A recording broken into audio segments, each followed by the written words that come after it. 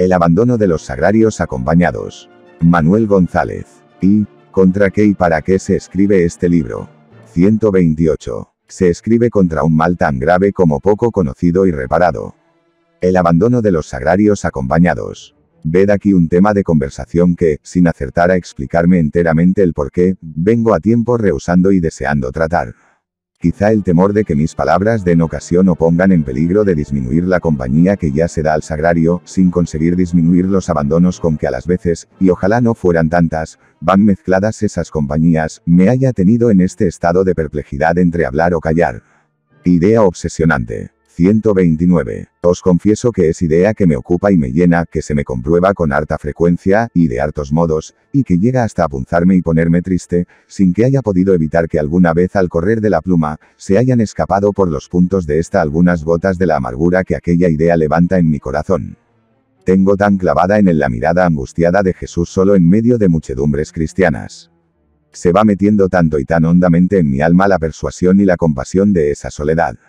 Más, por otra parte, he podido comprobar que eso de hablar de sagrarios abandonados es lenguaje tan duro para muchos oídos cristianos que, antes de reconocer la dolorosa, es verdad, pero indiscutible realidad de ellos, hay muchos, muchos de estos que rotundamente lo niegan, temerosamente lo limitan, torcidamente lo explican o airadamente exigen que se deje de hablar y de escribir de eso como de cosa que escandaliza.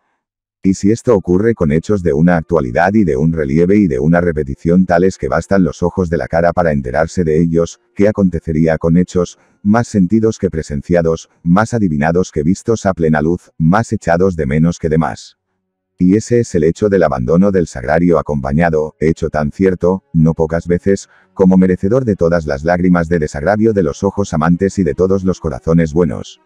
Lo que me decide a hablar. 2. 130. En estas vacilaciones me hallaba cuando llega a mi mesa de trabajo esa carta que vais a leer.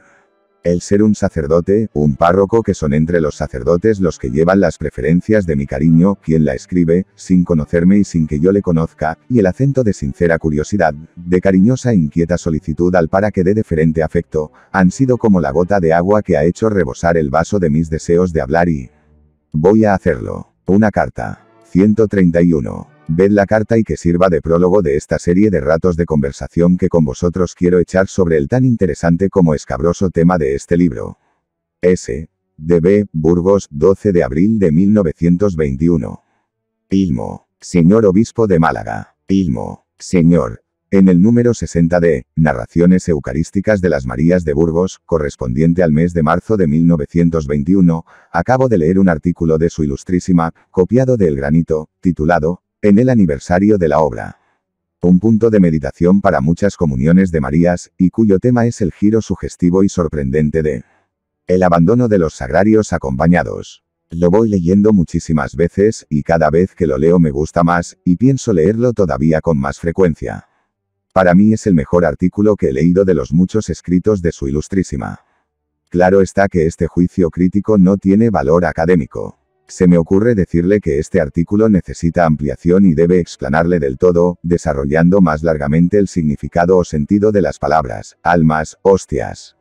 Ya que su ilustrísima, como obispo, está viendo y sintiendo la extensión e intensidad de ese abandono, haga también la obra de misericordia de enseñarnos a sentir y a ver todo ese extenso e intenso abandono, para que sepamos todos tener con Jesús sacramentado la compañía íntima de la imitación y de la inmolación. Hágalo así. Y esas luces y esos sentires que, como obispo ve y siente, sáquelos a la luz pública para que aprendamos a ser verdaderos acompañantes del Santísimo Sacramento. Y lo que escriba en este sentido, será la obra complementaria o parte segunda del, aunque todos. Yo no. Con estas esperanzas se ofrece a su Ilma. Atento S. S. I. C. D. Z. G. Párroco. 3. Ya está dicho en esta carta para qué se escribe este libro, para enterar de ese abandono a los no enterados, interesar más a los enterados y mover a sacerdotes, Marías, discípulos de San Juan y a las almas eucarísticas todas, a pelear contra él con la reparación más activa y la compasión más sentida. Ángeles de los sagrarios, reparadores silenciosos de esos abandonos de que las gentes no se dan cuenta, ayudadme a descubrir ese mundo de tristezas sin consuelo del sagrario, conocido a medias y a introducir en él a muchos, muchos cristianos. Madre Inmaculada, la que nunca abandonó y siempre supo dar al corazón de su hijo lo que esperaba y pedía, da virtud a estas paginillas de formar almas con las que cuente siempre tu Jesús en cada hora de su vida de sagrario. Como quisiera yo que se leyeran estas páginas. 132. Yo quisiera que este libro se leyera muy despacio, y con el alma muy llena de la presencia real de Jesús vivo en el sagrario, para dejar tiempo a que la cabeza se entere, el corazón se mueva y la gracia de Dios sobre y después de leído así, que se rumie en oración afectuosa ante el sagrario. 2. ¿Por qué se habla tan poco del abandono de los sagrarios acompañados? Horror del nombre. 133. Puesto a escribir sobre esta especie de paradoja de abandono en la compañía de los sagrarios, quiero comenzar por la explicación de los términos que empleo, que en buena dialéctica debe ser el comienzo de toda cuestión. El abandono del sagrario. He aquí él, es duro este lenguaje, uno que le ha quitado a la acción de las Marías, reparadoras de toda clase de abandonos de sagrario, más de una simpatía y les ha acarreado no pocas murmuraciones, recelos y protestas. Cierto que quien dice abandono de una persona o cosa buena, dice desprecio, ingratitud, dureza de corazón, deslealtad y otras cosas tan feas como esas. Y que decir que todas esas fealdades cuelgan de un sagrario como jirones de telarañas polvorientas, es harto doloroso. 1 JN 6,60. 4. Y vergonzoso. Pero son razón bastante ese dolor y vergüenza para suprimir del vocabulario cristiano la reunión de esas dos palabras, sagrario abandonado hubiera a Dios que antes se hubieran encontrado unos con otros los astros y saltado en millones de pedazos, que haberse encontrado y marchado juntas en uno de ellos esas dos palabras. Pero, repito, el dolor y la vergüenza y hasta el escándalo que a los pequeñuelos pudiera producir el pronunciar reunidas esas dos palabras, impiden el pronunciarlas. Cuando se demuestre que las enfermedades no se curan con medicinas, sino disimulándolas y callándolas, entonces diré que el mal del abandono del sagrario se remedia no haciendo mención de él. Nombre evangélico. 134. Aparte de esta razón, y sin negar lo desagradable del nombre, me movió a usarlo tan tenazmente el ejemplo del Evangelio. Son los evangelistas los que me han enseñado y decidido a usar el verbo abandonar, para expresar, no el odio, ni la persecución, ni la envidia de los enemigos de Jesús, que esto lo llaman con sus propios nombres, sino la deslealtad, la frialdad, la ingratitud, la inconsecuencia, la insensibilidad e indelicadeza, la cobardía de los amigos suyos, de los que le conocían, trataban y recibían sus distinciones y confidencias. Este irse de su lado los que debieron estar siempre con él ese no asistirlo con su presencia y con su adhesión incondicional cuando más lo hubo menester es llamado por los evangelistas abandono y huida. Y abandonándole, huyeron todos, dos.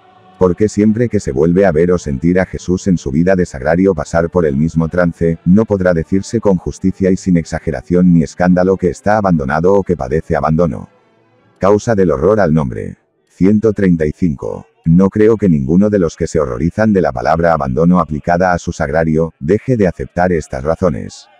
Lo que ocurre es que por no sé qué confusión de términos, hábilmente explotada por el diablo, se ha hecho temer o sospechar que la nota del abandono sobre un sagrario incluye la de descuido, tibieza o flojedad de celo de los sacerdotes que lo guardan y de las almas buenas que lo acompañan. O más claro, que llamar a un sagrario abandonado es acusar a todos sus vecinos de causantes de ese abandono y al párroco o al sacerdote encargado de él, de cómplice o culpable del mismo. 2 MC 14,50. 5. Pobres párrocos y pobres almas fieles. Como os demostraría yo mi admiración y mi compasión por veros trabajar en esos campos, que no faltan, de siembras constantes y cosechas nulas, tardías o escasas. Para destruir esa confusión, y ojalá fuera para siempre, me valdré del mismo ejemplo del Evangelio que acabo de citar. Se puede asegurar con todo rigor de verdad que Jesús estuvo abandonado de los suyos en toda su pasión y en su muerte.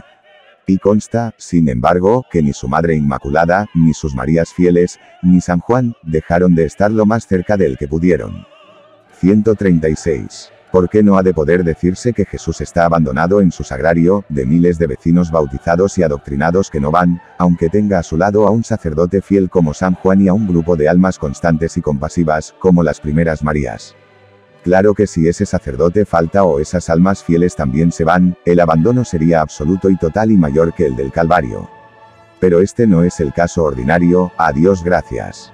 Precisamente una de las penas que más acerbamente desgarrarían aquellos corazones fieles, sería la de ver y sentir tan abandonada en su sacrificio la víctima augusta de su amor. Horror al hecho. 137. Sí, queridos sacerdotes, desechad el miedo de la palabra y trocadlo en horror al hecho que le da realidad tan triste y significación tan desconsoladora. Que a eso se enderezan estos renglones, a descubrirnos no tanto la extensión como la intensidad de esas tristezas. Sí, que el tiempo y las fuerzas que se gastan en indignarse contra la palabra abandono, estarán harto mejor empleados en trabajar contra el hecho del abandono, a fin de que, aminorado este, borrado, vaya perdiendo realidad y razón aquella.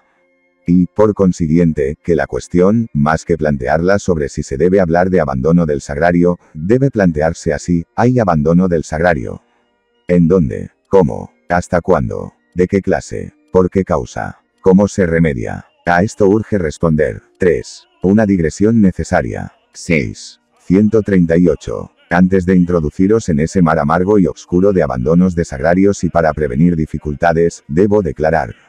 Lo que no pretendo. La descripción del abandono interior que padece o puede padecer el corazón de Jesús en el alma de sus amigos que lo reciben y en medio de grupos y aún muchedumbres de visitantes y comulgantes suyos, quizá sugiera a alguno el miedo de que estas consideraciones más puedan servir para acobardar y retraer a los que van al sagrario que para enardecerlos a que vayan mejor dispuestos. Y, a la verdad, nada más opuesto al fin de estas líneas. Es un mal este del abandono interior tan sutil como complejo y tan hondo como largo como que empezando por la indelicadeza leve para con Jesús y pasando por la negligencia, la rutina, la tibieza, la frialdad, la promiscuación, la inconsecuencia, el poco y distraído trato, la incomunicación afectuosa y la dureza de corazón, llega hasta la monstruosidad de la traición sacrílega. Lejos, muy lejos de mi ánimo, al apuntar estos defectos y peligros junto con sus funestas consecuencias, hacer concebir de las disposiciones del alma para recibir y tratar a Jesús sacramentado, idea tan excelsa e inaccesible, que más engendre miedo que deseo. Cierto, muy cierto que, a pesar de todos esos abandonos más o menos voluntarios, Jesús quiere ser recibido en comunión y estar en el sagrario. Y cierto que, a pesar de nuestra flaqueza e ingrata correspondencia, que digo a pesar, Precisamente por eso, debemos si nos tiene mucha cuenta comulgar más y rozarnos más con él. Lo que pretendo. 139. Yo quisiera, y bien pido al amo que me lo conceda, pintar con tales colores esos abandonos interiores de Jesús sacramentado, que a todos encendiera en ganas de afinar y adelgazar su trato con él, sin que a nadie excitara miedo de no llegar a dar la compañía interior de vida a tan alto huésped. Seguramente habrán llegado a vuestros oídos lamentos proferidos en tonos más o menos parecidos a los de los fariseos, de que tanto allanar y facilitar la comunión y tanto prodigar los cultos eucarísticos, está produciendo rutinas y menosprecios y familiaridades dañosas con las cosas santas y con el santo de los santos. Pues a quitar a esos lamentos, ocasiones y pretextos y a demostrar que la verdad está precisamente en lo contrario, van enderezados estos renglones. 7. Lo que ansío. 140. Poner muy en claro dos cosas.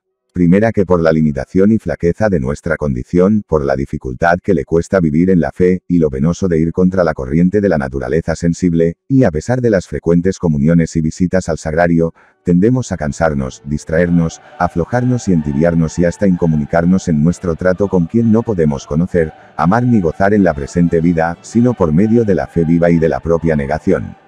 Segunda que para contrarrestar esa tendencia y evitar el peligro de aquellos cansancios e incomunicaciones, no hay otro medio ni camino que el de fomentar esa fe viva y esa propia negación. Solo los que así se acerquen darán al corazón de Jesús toda la compañía que él desea y tiene derecho a esperar, y recibirán de él todos los frutos que de comerlo y unirse con él, pueden esperarse. Y con ellos el fruto de los frutos y fin supremo del sagrario, a saber, la formación de tantos Jesús como comulgantes. Y, al revés, que si esto no hay, si en vez de fe viva, hay languidez de fe, o ignorancia de catecismo, si en vez de abnegación hay vanidad, orgullo, dureza de corazón, o sea, corazones ocupados de sí, no será raro ni inexplicable que, comiéndose el más sano de los alimentos, no se esté más sano y fuerte. Que, aumentando las comuniones de Jesús, se disminuyan las comuniones con Jesús. Que sentándose muchos más a su mesa, le ayuden muchos menos a llevar la cruz. Y, en suma, que estando el más acompañado por fuera, se sienta más solo por dentro. V. Hay abandono de sagrario. 141. Para responder con rigor lógico, distingo dos clases de abandono de sagrario, uno que pudiera llamarse exterior y otro interior o espiritual. Llamo abandono exterior a la ausencia habitual y voluntaria del sagrario por parte de los católicos que lo conocen y pueden ir a visitarlo. De modo que aquí no hablo de los judíos, herejes o impíos, o católicos sin catecismo, que entre estos se sentirá perseguido, odiado, calumniado o desconocido, Jesús sacramentado, pero no abandonado. Hablo de católicos que creen y saben que nuestro Señor Jesucristo, Dios y hombre verdadero, está real y vivo en el Santísimo Sacramento, y, viviendo cerca de él y sobrados de tiempo y fuerzas para el quehacer, el recreo, el casino, la taberna, no van nunca ni a recibirlo ni a visitarlo, ni guardan con él relación de amistad o gratitud ninguna. 8. Hay abandono exterior de sagrario. 142. Más valiera no preguntarlo para no verse en la dolorosa y amarga necesidad de responder con un sí tan grande casi como la extensión de los pueblos cobijados por sagrarios, tan repetido quizá como hombres haya en torno de ellos, tan largo y sostenido como el eco de un dolor sin remedio ni fin. Más que preguntar si hay sagrarios con ese abandono material, sería mejor y más breve preguntar, pero hay sagrarios sin abandonos. Porque, exceptuando el sagrario del apartado monasterio, seminario o casa piadosa, sin más vecinos que los religiosos o religiosas que lo habiten, y alguno que otro de parroquias privilegiadas, que aún por la misericordia de Dios existen, sobre qué sagrario del mundo podrá ponerse esta leyenda, sin abandonos.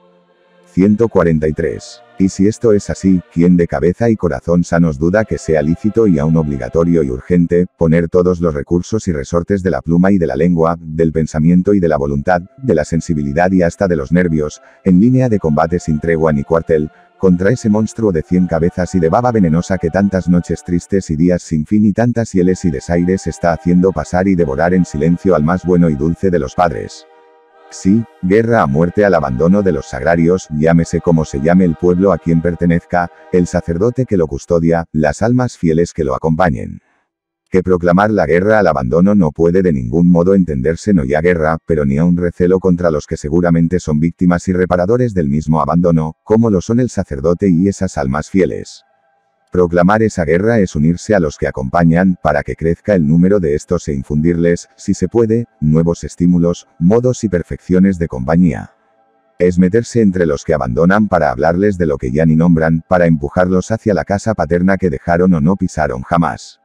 Es poner en el acento de la palabra y en el gesto de la cara y en la delicadeza de la acción y en la intimidad de la súplica, y sobre todo, en la generosidad del sacrificio, toda la vehemencia y expresión y atractivo del celo más ingenioso, del amor más lastimado, y me atrevería a decir, de la pasión más santamente avasalladora, que todo eso debe inspirar la compasión por ese mal, el más injusto, triste y funesto de todos los males. Pero como no es contra ese abandono exterior contra el que vienen a pelear ahora estos renglones, limítanse a recordarlo una vez más y a poner debajo de aquella triste leyenda, con la más visible de sus tintas y con el más enérgico de sus trazos, Jesús de los sagrarios, exteriormente abandonados, aunque todos te abandonen, nosotros. No, 9. V. Hay abandono interior de sagrario. 144. Esta, esta es la llaga que quieren mostrar estas paginillas y mostrarla en toda su longitud, latitud y hondura, y con toda la sangre que mana y las lágrimas que cuesta y los bienes que impide y los males que acarrea a los que son causa de tenerla abierta. ¿Qué es? Decía en el capítulo anterior que abandonan exteriormente el sagrario los que, conociéndolo y pudiéndolo visitar, no van habitualmente a él. Ahora añado que el abandono interior es ir al sagrario con el cuerpo y no con el alma. Ir a él y no estar en él. Es ir con el cuerpo para que la boca se abra y trague la sagrada forma. Los labios se muevan y balbuceen algunas palabras. La cabeza se incline. Las rodillas se doblen por un espacio de tiempo más o menos largo, pero no con el alma. Que no medita lo que hay y lo que se da y lo que se pide en el sagrario. Que no se prepara para comer con un gran aseo y un excitado apetito, ni saborea ni agradece la comida. Que no habla ni escucha al huésped que la visita que no se presta a recoger y guardar las gracias que le trae, los avisos que le da, los ejemplos que le enseña, los deseos que le insinúa, la correspondencia de amor que le impone. ¿Cuántas, cuántas veces tendrá que repetir el maestro, desairado en el interior de algunos comulgantes y visitantes de sus agrarios, de exterior humillado y devoto, la queja del Señor con su pueblo, este no me honra más que con sus labios y rodillas, pero su corazón, qué lejos está de mí. Un ejemplo. 145 y para que la definición y el tipo del abandono interior entren y se graben hondamente en el alma de los que leen estos renglones. Y para que por anticipado se vea el alcance y la trascendencia de este mal, busco en el Evangelio ejemplos que lo aclaren. Y ojalá no fuera tan gráfico y expresivo el que ofrece la escena de la primera comunión que se dio en la tierra por las manos del mismo divino autor. La primera comunión y el primer abandono interior. 146. Lid la descripción que de ella hace singularmente el evangelista San Lucas y, apenados, encontraréis como cortejo de esa primera comunión, ese maltrecho abandono interior de que os vengo hablando. 10. Lo que el Maestro y sus apóstoles dicen preguntándose y respondiéndose momentos antes y después de recibir aquella primera hostia consagrada, revela muy al vivo lo que el Jesús de esta hostia encontró en el alma de sus primeros comulgantes. ¿Qué encuentra? En el alma de Judas, suponiendo que llegara a comulgar, encuentra la traición, y en ella los ecos de todos los aullidos del odio de los condenados, y la cara de envidia y venganza de los demonios en el alma de los otros o de los más, en vez de la gratitud y el asombro que absorbieran todos los afectos y sentimientos, encuentra el afán mundano, la ambición rastrera y vulgar y cruelmente inoportuna, en aquel doloroso instante de separación, sobre quién de ellos sería reputado el mayor cuando se estableciera su reino en la tierra. Y, si esto aún fuera poco, al comunicarles su próxima prisión y el gran escándalo y pedirles angustiados se previnieran con los auxilios de las armas espirituales que les dejaba, principalmente en aquella comunión, toda la respuesta que de ellos obtiene es que cuentan ya con dos espadas. Y después, como acción de gracias de la comunión. El sueño en la agonía del huerto, la huida, la negación. 147. Almas delicadas no es verdad que al meditar en esa primera entrada de Jesús sacramentado en las almas de los hombres, lo siente uno muy solo allí dentro, en el alma y en los sentimientos de sus amigos. O dicho con su palabra, no es verdad que se le siente en aquella comunión muy abandonado. Qué palabra del Evangelio, qué acento de aquellas bocas, qué gestos de aquellas caras, da a entender o presumir que la ternura y la vehemencia de aquel gran corazón, a punto de derretirse o de estallar en aquella hora augusta de la dádiva máxima y del máximo sacrificio, encontraran en los corazones de sus apóstoles ecos y latidos de supremas correspondencias o, al menos, muestras ligeras de inteligencia. Jesús solo, abandonado en el alma de sus amigos. Es decir, Jesús visitando almas y viviendo en las casas de sus amigos sin ser entendido, ni secundado, ni escuchado, ni preguntado, ni tomado en cuenta. Ese es el abandono interior que se repite en una proporción que asusta en nuestros sagrarios. Verdad que merece ser meditado y llorado. Vi, mar adentro. 148. Todo lo que de ese mal del abandono del sagrario llevo dicho y escrito, nada es comparado con lo que queda por decir. 11. Y mal conseguiría yo el fin que me propongo al escribir estos renglones, si por miedo a gastar tinta y tiempo, dejara de pintar ese mal con toda la desgarradora propiedad que sea dada a mi pobre pluma. Quiero, pues, sumergirme en los mares del abandono del sagrario y contaros con toda sinceridad las impresiones de ese viaje a los adentros del abandono. 149. Si la Eucaristía es el milagro de la permanencia perpetua de Jesucristo, el abandono de la Eucaristía es la frustración práctica de ese milagro y con ella, la de los fines misericordiosos y altísimos de su permanencia. La Eucaristía abandonada es, en cuanto esto se puede decir de Dios, Jesucristo contrariado con la más amarga de las contrariedades, y las almas y las sociedades privadas de ríos y de mares de bienes. No es que no existan o nos importen poco otros males que ofenden a Dios y afligen a nuestros hermanos, sino que dejamos a otras obras o instituciones nacidas o especializadas para eso, el remedio de estos otros males, que después de todo no son sino efectos o síntomas de aquel gravísimo y trascendental mal del abandono. Los que hacen el daño. 150. Lo he dicho ya, es mal desde luego de católicos, no de herejes ni de impíos, que estos odian. Es mal de los que desconocen a Jesucristo debiendo conocerlo, de los que no le tratan o le tratan mal debiendo tratarlo mucho y bien. De los que saben que se sacrifica Él por ellos en cada misa que se celebra, y ellos no se sacrifican por Él asistiendo a una sola o con el cuerpo nada más. De los que saben que Él es alimento del alma que sacia todas sus hambres y prefieren morir de inanición y no comulgan o comulgan mal de los que saben que el sagrario es la casa donde se quedó a vivir Jesús para estar cerca de sus hijos y acompañarlos todos los días de su vida, y ellos lo dejan solo días y días, años y años. El abandono es el mal de los que saben que Jesús tiene ojos y no se dejan ver de ellos. Y oídos y no le hablan. Y manos y no se acercan a recoger sus regalos. Y corazón que les ama ardientemente, y no lo quieren ni le dan gusto. Y doctrina de toda verdad y la desdeñan o la interpretan a su capricho y ejemplos de vida y no los copian. Es mal de próximos y amigos. Como ofende al corazón de Jesús. 12. 151. Y me fijo principalmente en el corazón de Jesús, cuando retrato y lamento lo malo del abandono, Porque, sin dejar de afectarle los otros males, creo y siento que este va más directamente contra su corazón. Otras ofensas son quizá más ruidosas, visibles, escandalosas, alarmantes. Esta, sin manifestaciones hostiles, sin ataques positivos, sin organizaciones pensadas, sin odios sistemáticos, pone en el corazón de Jesús todo lo aflictivo de aquellas, quitando el bien del desagravio o alejando la esperanza del remedio.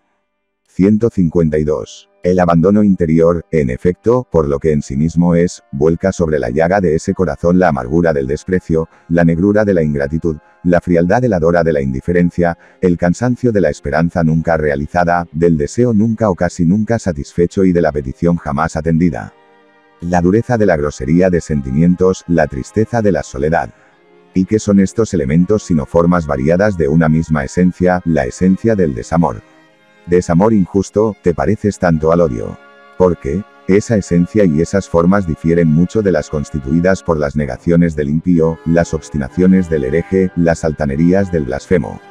Con la añadidura de que el odio de los malos alarma a los buenos, los despierta, los reacciona, los excita a pelear e impele al desagravio pero el abandono de los buenos, de los que debieran serlo o figuran entre los que lo son, quita al corazón abrevado de sus amargas esencias, la esperanza y el consuelo de la protesta enérgica, del despertar valiente, del desagravio reparador.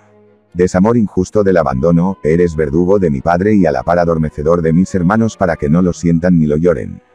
Pero verdugo, no para matar a mi Jesús con cuchillo ni hacha, sino con hambre no satisfecha de amores de hijos, con aislamiento de corazones, con inacción a fuerza de incomunicarle y alejarle las almas, con cansancio de esperar a los que no acaban de venir o vienen sin ganas. Como daña a las almas. 153. Y si eso eres para él, ¿qué serás para las almas? No eres torrente que arrasas en un instante, sino gota que lentamente ablanda, descompone, afloja y arruina. No eres rayo que vuelcas las torres y hiendes las techumbres de los templos, sino roedor oculto de sus cimientos. No eres león, ni elefante, ni monstruo fiero que amenaza de muerte, sino polilla que carcome, microbio que infesta, orín que corroe. No eres actividad incansable, sino pereza solo activa para contagiar. No eres ceguedad, sino cortedad de vista. No eres oscuridad que aterra, sino niebla que no alarma.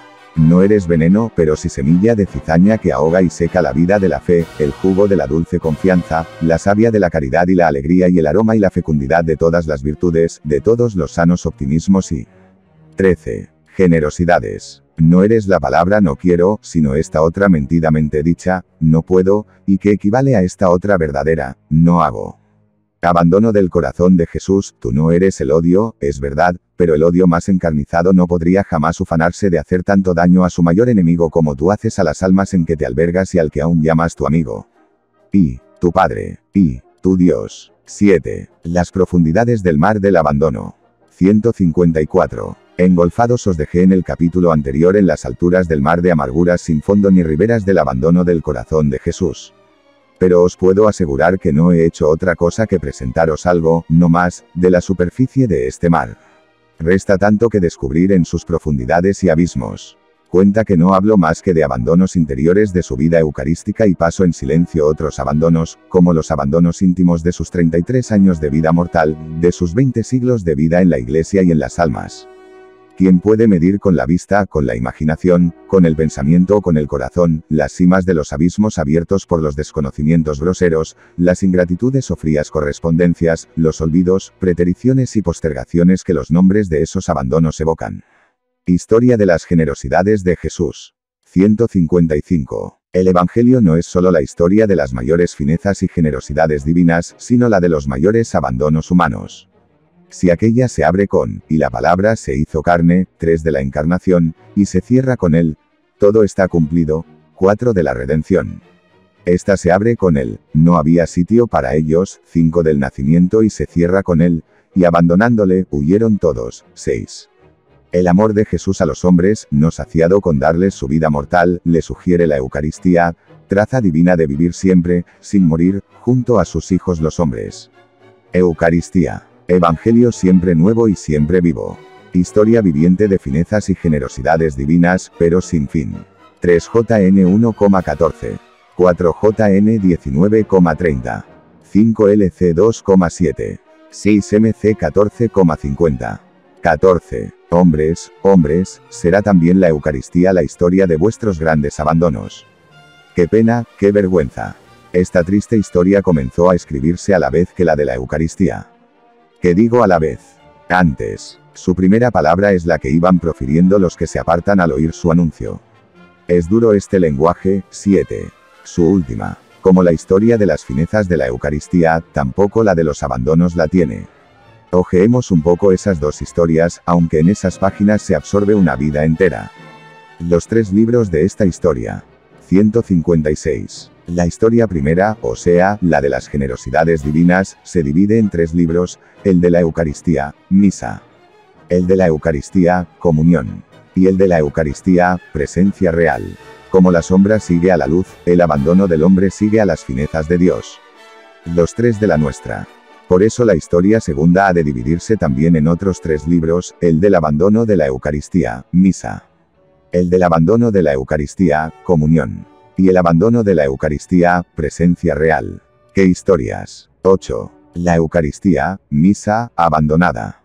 157. Voy a esbozaros, no más quien se atreverá a escribirla entera, la historia de los abandonos interiores del corazón de Jesús en las tres manifestaciones de su vida eucarística, misa, comunión y presencia real. Y, consecuente con esa promesa, quiero hablaros de lo que con toda justicia puedo llamar fuente de toda vida eucarística, y aun cristiana, que es el sacrificio eucarístico y de los abandonos y desaires silenciosos e ignorados, y, por consiguiente, no reparados, que en ella padece el corazón de Jesús. Mis perplejidades. 7JN 6,60. 15. Perplejo me jalo al intentar vaciar en frases de claridad meridiana y en un rato de conversación familiar y sencilla, conceptos de la sagrada teología que nuestro pueblo aprendió y desgraciadamente olvidó y ahora le cuesta harto trabajo entender. Y cuenta que ya no es el pueblo sin letras el que no penetra esos conceptos teológicos, sino, lo que es más de lamentar, el pueblo piadoso, el formado por almas que frecuentan el templo y la sagrada comunión, que diariamente hojean libros ascéticos y hasta ejercen magisterios de niños en escuelas religiosas. El desconocimiento de la misa. 158. No hablo ahora con los que no visitan el templo de Dios. Ni con los que, yendo, por abandono o impiedad, viven incomunicados con Jesús sacramentado, no comulgando jamás o rara vez. Ni tampoco con los que, viviendo en el templo, hacen sacrílegas mercaderías con su misa y con su culto. Hablo con los piadosos, y en esta categoría incluida muchos, desde los más obligados a una completa instrucción teológica y ascética, hasta a los apenas iniciados en las prácticas de la piedad.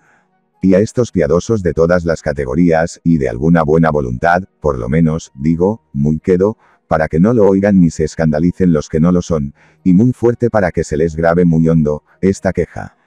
¿En qué abandono tan espantoso se ofrece sacrificado cada día Jesús? El altar del Señor está despreciado.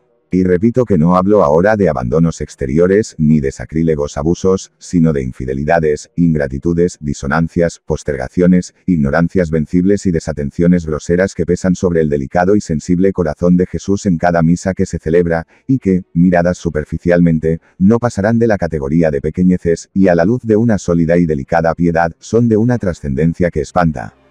Lo que no es la misa. 159. Si la Santa Misa, no es uno de tantos actos de nuestro culto, sino el principal de todos. Ni es una serie de ceremonias litúrgicas representadas para hacernos pasar media hora en piadosos entretenimientos, sino la esencia de nuestra religión y de nuestro culto 8. Si el altar en que se celebra no es uno de tantos adornos de la iglesia, sino la piedra angular de todo el edificio religioso, el hogar de la familia cristiana, el punto culminante del mundo. 8 com. Bat. 2. SC en 2, Po en 5, Or. Gral. Del Misal Romano, 1. 16. De las almas y el centro de todas las convergencias de la vida espiritual, no solo en el orden místico, ascético, pastoral, dogmático y moral, sino científico, social y artístico. Si la acción que se realiza en la misa no es una mera conmemoración del sacrificio de la cruz o exclusivamente un símbolo de nuestra redención, sino que es la oblación real de un sacrificio positivo, de aplicación actual a cada miembro del cuerpo místico de Jesucristo, de los méritos de la muerte y de la vida gloriosa y divina que nos ganó y mereció en su sacrificio absoluto y cruento del Calvario.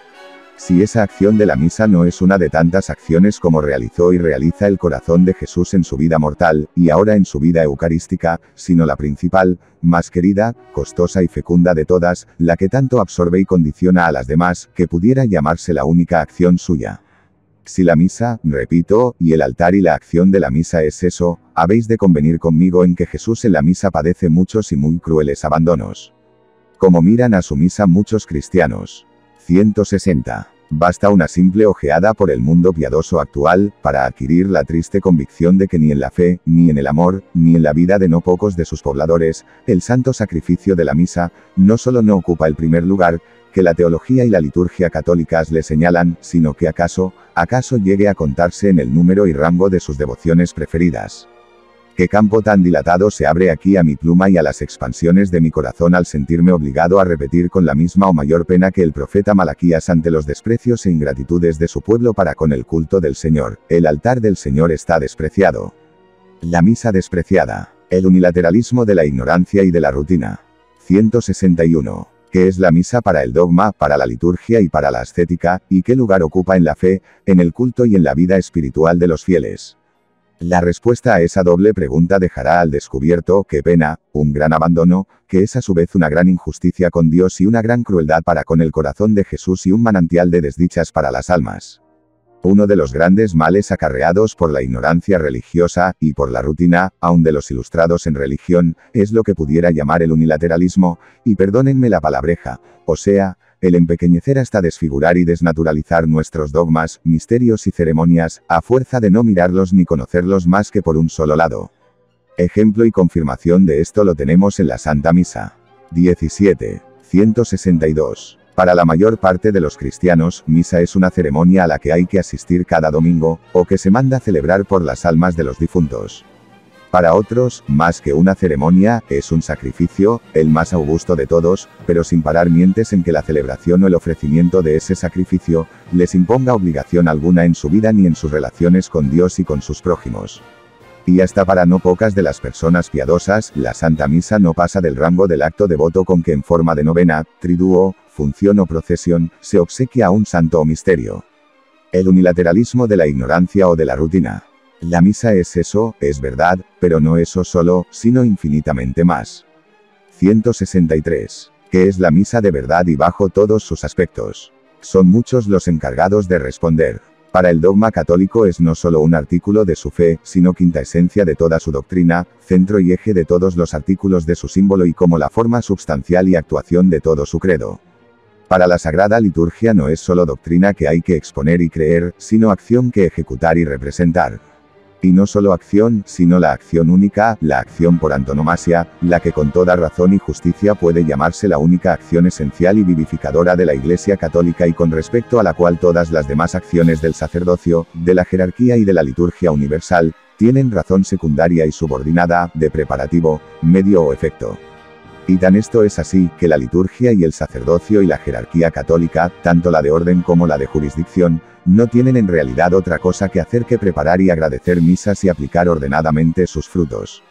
Para la moral y la ascética, ese sacrificio de Jesús en todos los días y en todas las horas y en todos los pueblos es, además de símbolo condensado de la fe y acción esencial y vivificadora, ejemplo de vida perfecta y secreto supremo de la santidad. Lo que enseña, lo que hace y lo que da una misa bien conocida, entendida, preparada y aplicada, es decir, bien acompañada y, por lo contrario, de lo que priva a la gloria de Dios, a la vida de la Iglesia y de las almas, y al orden del mundo el abandono de la misa. 164. Ya que la índole de estas reflexiones o impresiones no lo permite, pido con insistencia a mis lectores, que todos son de los de buenísima voluntad, que dediquen el tiempo de su lectura espiritual o de su instrucción, a leer despacio en un buen catecismo explicado o en algunos de los muchos y buenos tratados especiales, la doctrina del santo sacrificio de la misa. Mientras que, conforme al plan de descubrimientos y reparaciones de abandonos que aquí he propuesto, les voy exponiendo los principales abandonos que, a 18. Mi entender, hacen sufrir a Jesús los amigos en su Eucaristía, misa. A saber, abandono de, primero el dogma de la misa.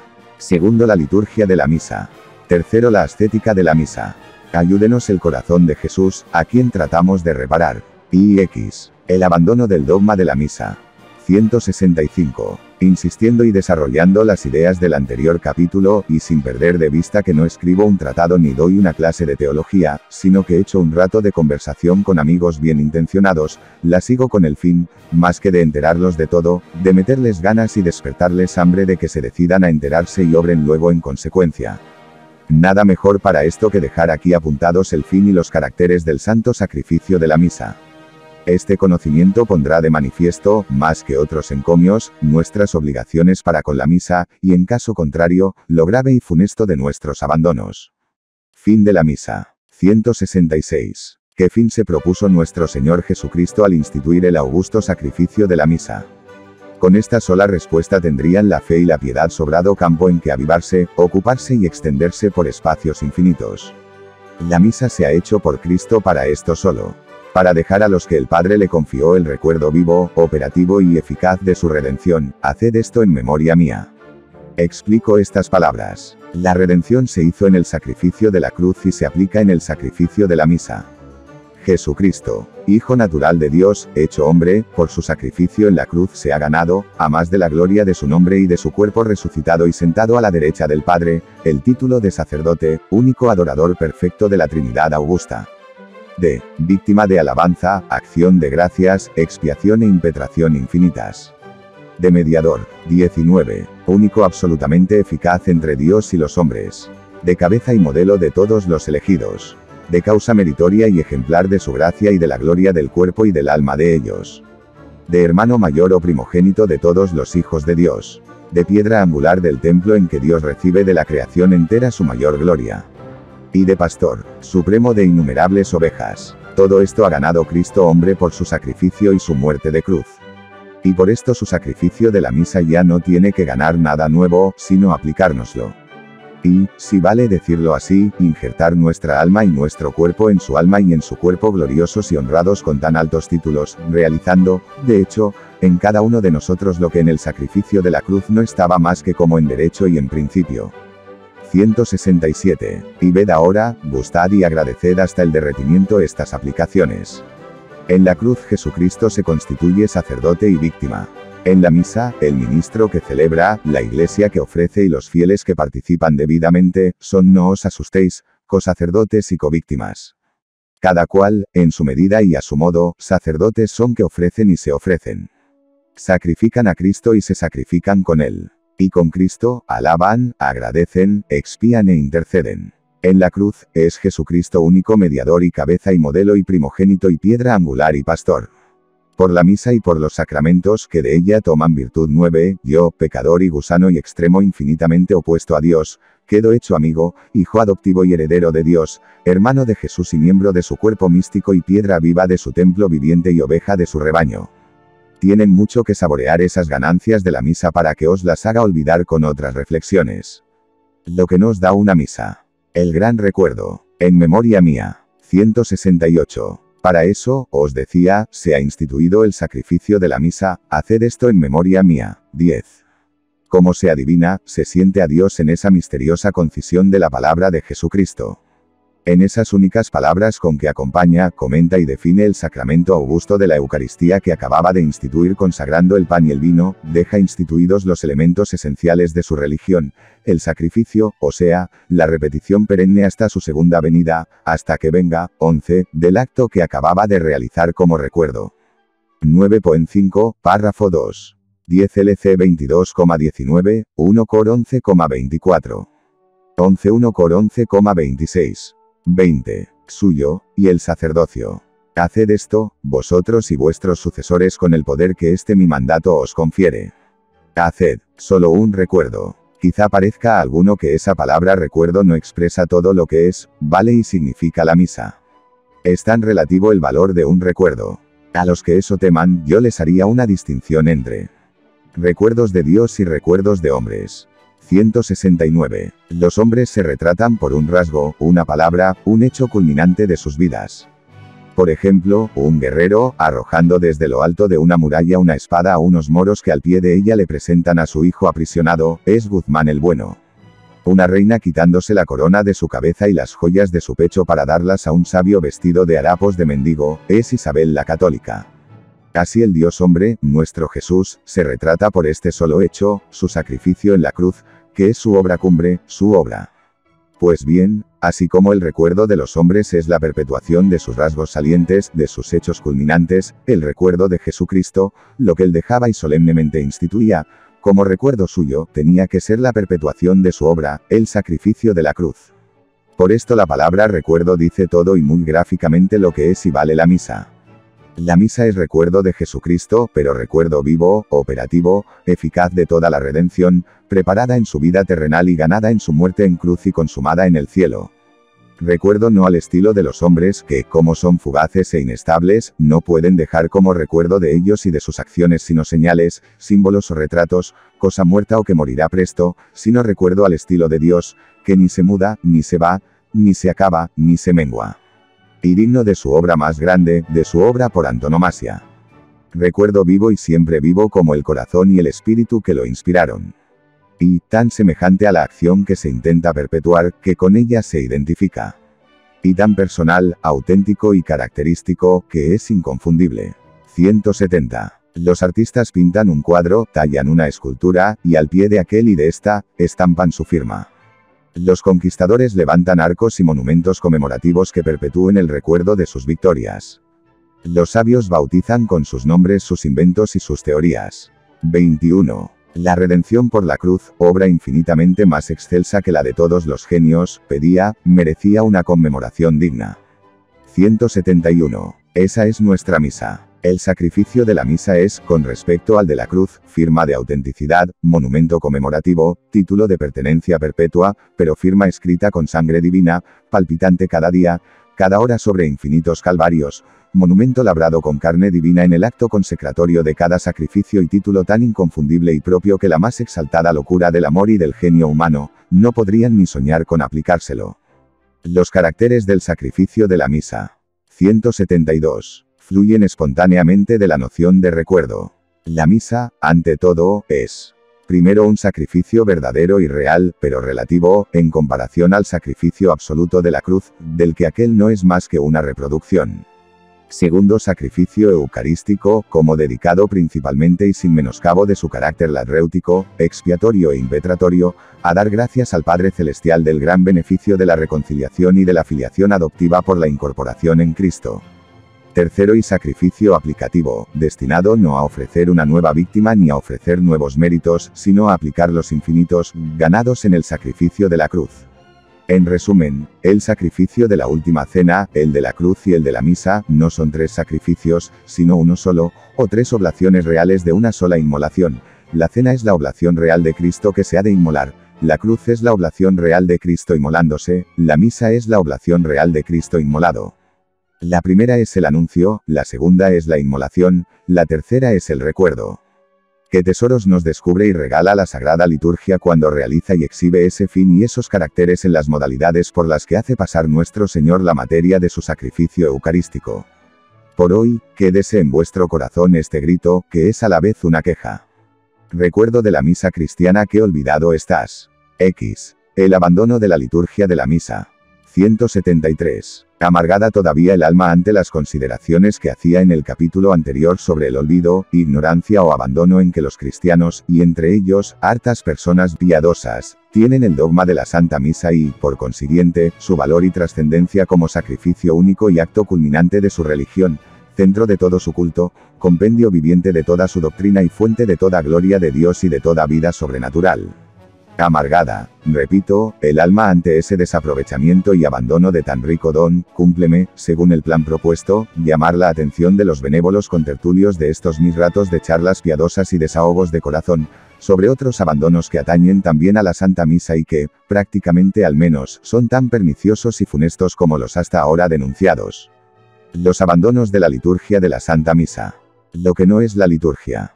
174. Y ruégote, al llegar aquí, lector paciente, que detengas ese gesto mohín de incredulidad o compasiva tolerancia con que empiezas a contraer tu cara al asegurarte yo cosas tan serias, como consecuencia del olvido y abandono de la Santa Liturgia.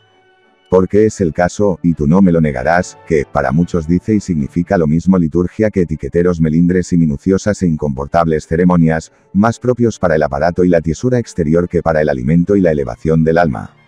Y claro, para los que así piensan, cosa dura ha de ser mi afirmación de atribuir al abandono de la liturgia, especialmente de la misa, casi los mismos efectos del abandono del dogma. No, la liturgia católica no es esa lluvia de minucias vacías que ahogan sin mojar ni refrigerar. Lo que es. 175. La liturgia es la iglesia viviendo su fe, su adoración, su amor. El culto es el cuerpo visible de la religión. Y la liturgia es su expresión, su gesto, sus modales, su palabra doce. La liturgia es el dogma vivido y metido en lo más hondo de la vida de los creyentes, enseñado auténtica, intuitiva, solemne y oficialmente, y puesto al alcance de los rudos y abriendo horizontes sin fin a los sabios humildes. Es Dios, por medio de su Cristo, llamando, acogiendo, trabajando, uniéndose al alma. Es el alma, dejándose modelar por el divino buril para poder ser hecha miembro del cuerpo místico de Cristo. Piedra de su iglesia, oveja de su rebaño, hija de Dios, hermana del primogénito Jesús, participante de su vida y de su gracia y coheredera de su gloria. 12 Kong, Bat, 2, SC en 10. 23. 176. La liturgia es en Cristo, por Cristo y con Cristo, la grande obrera de la predestinación de los elegidos, trabajando por conformarlos y unirlos a Él y hacerlos crecer en Él. Jesucristo, camino, verdad y vida, es el arquitecto que, por los medios que la liturgia aplica, obtiene la realización de su oración sacerdotal, que todos sean uno. 13. Es el gran sacerdocio de Cristo realizado y practicado entre nosotros mientras vivamos aquí abajo 14. Qué pena que se conozca y se quiera tan poco la liturgia.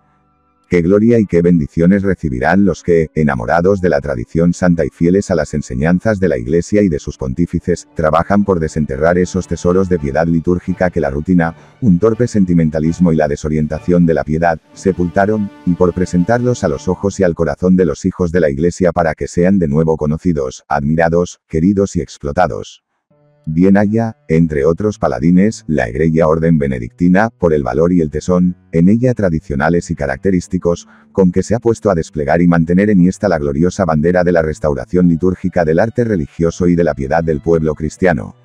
Y perdonen los amigos, a título de desahogo, esta digresión. La misa en la liturgia. 177. La Santa Misa es el acto central, la obra maestra, la clave del arco, el tronco vital de toda la liturgia, hasta el punto de que esta es siempre eucarística 15. Cuando veo a tanto devoto de cultos fastuosos, de mucha música y muchas luces, y veo tan vacías de asistentes las iglesias en las que se celebra la Santa Misa, y singularmente las parroquias durante la Misa del Domingo, que es la de toda la familia parroquial. Cuando veo que en iglesias donde se gastan miles de pesetas para el manto, el paso, de la titular o de la cofradía, o las túnicas de los nazarenos, o los fuegos, o la música de la procesión, carecen los sacerdotes de estipendio para sus misas diarias. Cuando oigo, como lo he oído, a fieles y a corporaciones, encargar misas modestitas, me pregunto con pena, pero tampoco representa para estos cristianos una misa. Razón sobrada para proponer a los católicos la anterior pregunta o punto de examen. Doy la palabra a don Baudin, OSB, que, con frase magistral y ardiente, lamenta esta funesta postergación de la Santa Misa en el culto de los fieles. Dar más solemnidad y esplendor a las bendiciones que a la Santa Misa, habituar al pueblo cristiano a las misas tan privadas, tan cortas y poco solemnes como sea posible, una verdadera liturgia de catacumbas y de persecuciones. Y, por otra parte, inculcarle, por 13 JN 17,21. 14 Combat y 2, SC en 7, P, tercero y cuarto. 15 IB, en 10. 24. Una publicidad intensa por audiciones musicales de todo género, por predicaciones de tono, iluminaciones eléctricas, ornamentaciones piramidales, en una palabra, por todos los recursos y atractivos modernos, la más grande importancia a las bendiciones. Convertir el altar principal en rico soporte del tabernáculo, y aún a veces en pedestal de un santo transformar la mesa del altar santificada por las purificaciones y las unciones solemnes del pontífice, osario inviolable en donde reposan las reliquias de los mártires, piedra simbólica que besamos con amor y saludamos e incensamos con respeto, místico calvario en donde nuestro Salvador renueva todas sus maravillas. Transformar, digo, el objeto más sagrado del santuario en gradería cubierta de bujías y de flores, o también cubrirlo y hacerlo desaparecer durante todo un mes. Todos estos abusos y tantos otros, contrarios a las prescripciones y a los principios de la liturgia, falsin a la larga la mentalidad de los cristianos. Relegan a segundo término el aspecto primordial de inmolación y de unión con Dios. Hacen perder de vista, en el culto, el acto esencial. Y reducen la Eucaristía a solo una presencia real, o una comida sagrada, aislada del todo más sagrado de que forman parte, es decir, los santos misterios eucarísticos. 178. Abandono por olvido o ignorancia de la liturgia de cuantos abandonos eres la causa. El carácter vulgarizador de estos renglones me impide meterme en largas descripciones litúrgicas de la misa. Para unirse con la Iglesia y con el sacerdote en la celebración del santo sacrificio y empaparse del espíritu litúrgico, transcribo aquí las partes de la Santa Misa, añadiendo las disposiciones con que los fieles, según un ilustre liturgista, deben ir participando en cada una de esas partes ritos iniciales, actos de contrición, o el amor que se purifica. Liturgia de la palabra, actos de fe, o el amor que se ilumina. Liturgia eucarística, actos de abandono, entrega, de esperanza y de caridad, o el amor que se ofrece, se inmola y se une. Rito de conclusión, actos de reconocimiento, o el amor que agradece. Sí, el abandono de la ascética de la misa. 179. El aspecto ascético de la Santa Misa. Yo no sé cuál de los tres aspectos, dogmático, litúrgico y ascético, que os vengo presentando en el sacrificio eucarístico, está más olvidado o desconocido o no tenido en cuenta por parte de los que frecuentemente asisten a él. 25. Pero poner la misa como fundamento, corona y realización de la vida ascética. Reconocer en ella el fin y el medio esenciales de la ascética cristiana. ¿Quién para mientes en eso? Veámoslo. Fin de la ascética. 180. Esta, Mírese como una ciencia que fija y enseña principios, como un arte que da reglas o como un modo de vivir, no tiene otro fin que poner al alma en disposición de dar a Dios la mayor gloria por medio del ejercicio de las virtudes. El alma que habitualmente da más gloria a Dios, esa es la más asceta y la más virtuosa. Fin de la misa. Dar desde la tierra a Dios la máxima gloria, no solo que la tierra puede dar, sino que Él, con ser quien es, puede recibir. Diferencia entre la misa y los sacramentos.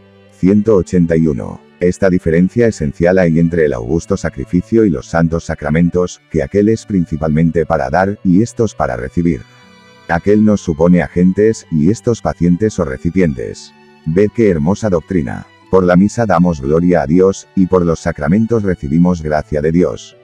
Esa gloria que damos a Dios por la misa es, en el orden práctico, primero, propiciación que lo desagravia y aplaca por nuestros pecados y le hace volver el rostro hacia los que fueron sus enemigos. Segundo, y presupuesta la propiciación, esa gloria es alabanza perfecta, y que exactamente se merece él. Tercero, es la acción de gracias tan completa, que todas nuestras deudas de gratitud con él, quedan abundantemente pagadas. Y, cuarto, es la oración de impetración más eficaz y valiosa que pueda llegar a los oídos de Dios. Es decir, por medio de una misa, aplacamos, alabamos, agradecemos y oramos a Su Majestad.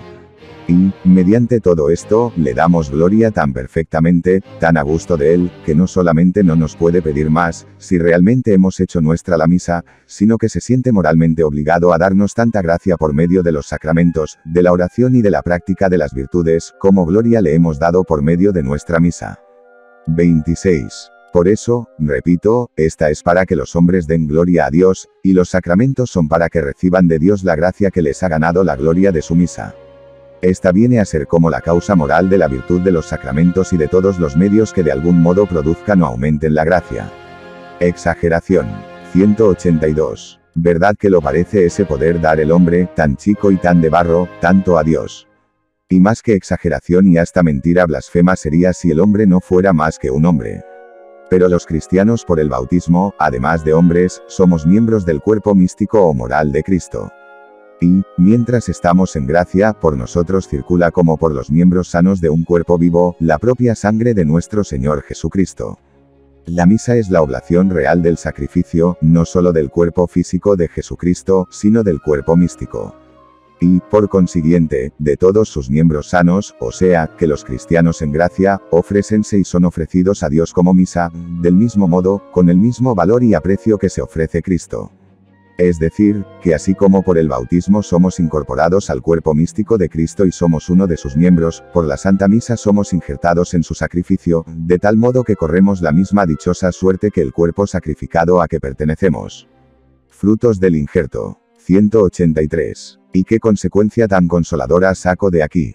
Por medio y en virtud de ese injerto mío en el sacrificio augusto, siempre que ofrezco una misa, la mando aplicar o participo en ella en estado de gracia, la majestad de Dios recibe de esta criatura de polvo, la misma, fijaos bien, la misma gloria que le dan la propiciación, la alabanza, la gratitud y la oración de su Hijo inmolado, cabeza, alma y vida del cuerpo de que soy miembro. Por eso el sacerdote, después de la consagración, elevando simultáneamente el cáliz de la sangre y la hostia santa, puede decir en nombre de toda la Iglesia, que es su cuerpo místico, ante el cielo, la tierra y los abismos, a la Trinidad Augusta, por medio de él, con él y en él, tienes, Padre Omnipotente, en unidad del Espíritu Santo, todo honor y toda gloria.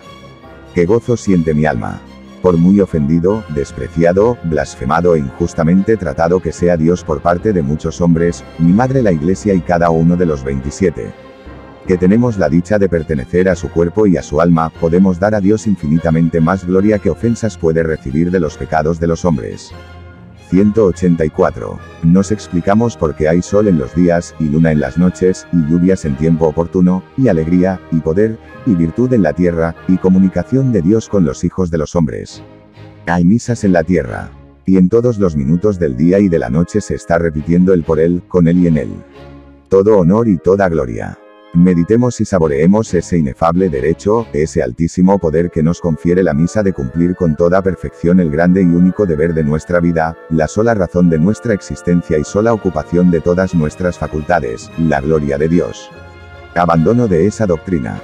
185. No es verdad que se suele buscar en la misa más bien lo nuestro, la solución del negocillo, el remedio de la enfermedad o del apuro, etc., que lo de Dios.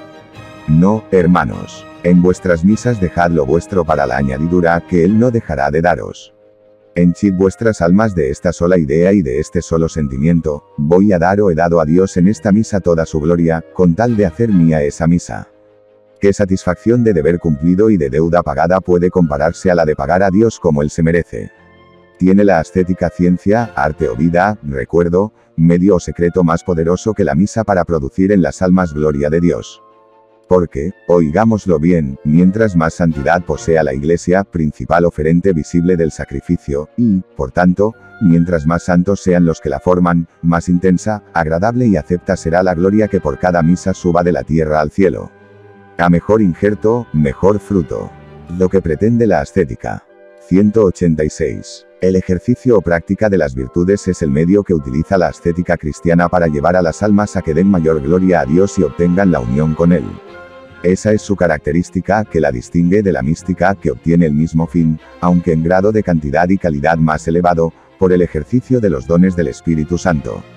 La gloria de Dios y la unión con Él, en definitiva, no tienen más enemigos ni obstáculos que nuestras pasiones desordenadas, nuestro egoísmo con su familia de soberbia, lujuria, avaricia, etc., que son los salteadores de esa gloria y unión. 28. La dominación de ese egoísmo y de su turbulenta familia por medio de las virtudes opuestas con el auxilio de la gracia de Dios, ese es el arte, y la ciencia, y la vida de la ascética. El vencimiento habitual de sí mismo. Morirse a todo afecto desordenado. Como lo obtiene la misa. 187. La misa abrevia, facilita y obtiene, cual ningún otro remedio ascético, la muerte a sí mismo. No olvidemos que la misa es la oblación del sacrificio del cuerpo, no solo físico, sino místico, de Jesucristo. Por estar en gracia somos miembros vivos del cuerpo místico de Jesucristo y por celebrar o participar en la misa, somos ofrecidos en sacrificio con Él. Cada misa nos pone en condiciones de sacrificados. En tanto ofrecemos y somos ofrecidos en sacrificio con Jesucristo, en cuanto vivimos y morimos con Él. Por nuestra unión e incorporación a Jesús sacrificado en la Santa Misa, realizamos al pie de la letra en nosotros el muero cada día, de San Pablo. Qué pena que no conozcan estas consoladoras enseñanzas los que comulgan con frecuencia y todos los días o los más de ellos participan en la Santa Misa. ¿Cuánto les importaría saber que la postura y el ademán de un cristiano en gracia de Dios después de su misa es quedarse y andar en cruz? Es decir, con sus brazos tan abiertos y ampliamente extendidos como los brazos de su Jesús en cruz. Con el corazón tan al descubierto como el de su Jesús en la cruz. Con el desapego de la tierra y elevación sobre ella, de su Jesús suspendido de los clavos de su cruz y enrojecidos rostro, pecho, manos, pies y cruz con la sangre propia y con el fuego del mayor y mejor amor. 188. Si el sacrificio eucarístico es el acto central del culto y del dogma católicos, la clave del arco de la liturgia y de la fe, también lo es de la moral y ascética católicas. Si unidos e incorporados por la gracia a Jesucristo en cruz, hacemos el acto supremo de culto y de alabanza y de fe, unidos en cruz a Él realizamos la perfección ascética. Si la perfección de la ley está en la caridad y la perfección de esta es el sacrificio, sacrificándonos cada día con Jesús sacrificado, realizamos el acto mayor y mejor de amor a Dios y de odio a muerte a su mayor enemigo, que es el egoísmo. Abandono de este excelentísimo medio de la ascética. 189. Y ahora pregunto, ven, entienden, sienten así su misa muchos de los que a ella asisten. Nada digo de quienes, aun queriendo no faltar al precepto de la misa en días festivos, asisten de forma tan provocativa ellas, por las inmodestias de la moda, y con un aire de 29. Aburrimiento y de curiosidad profanadora no pocos que dan a entender bien a las claras que ni las unas ni los otros van a la misa a ponerse en cruz con el Jesús de ella, ni salen con ganas de llevar la cruz de su misa ni a sus ocupaciones ni a sus diversiones. Pobrecillos. Lo que desperdician.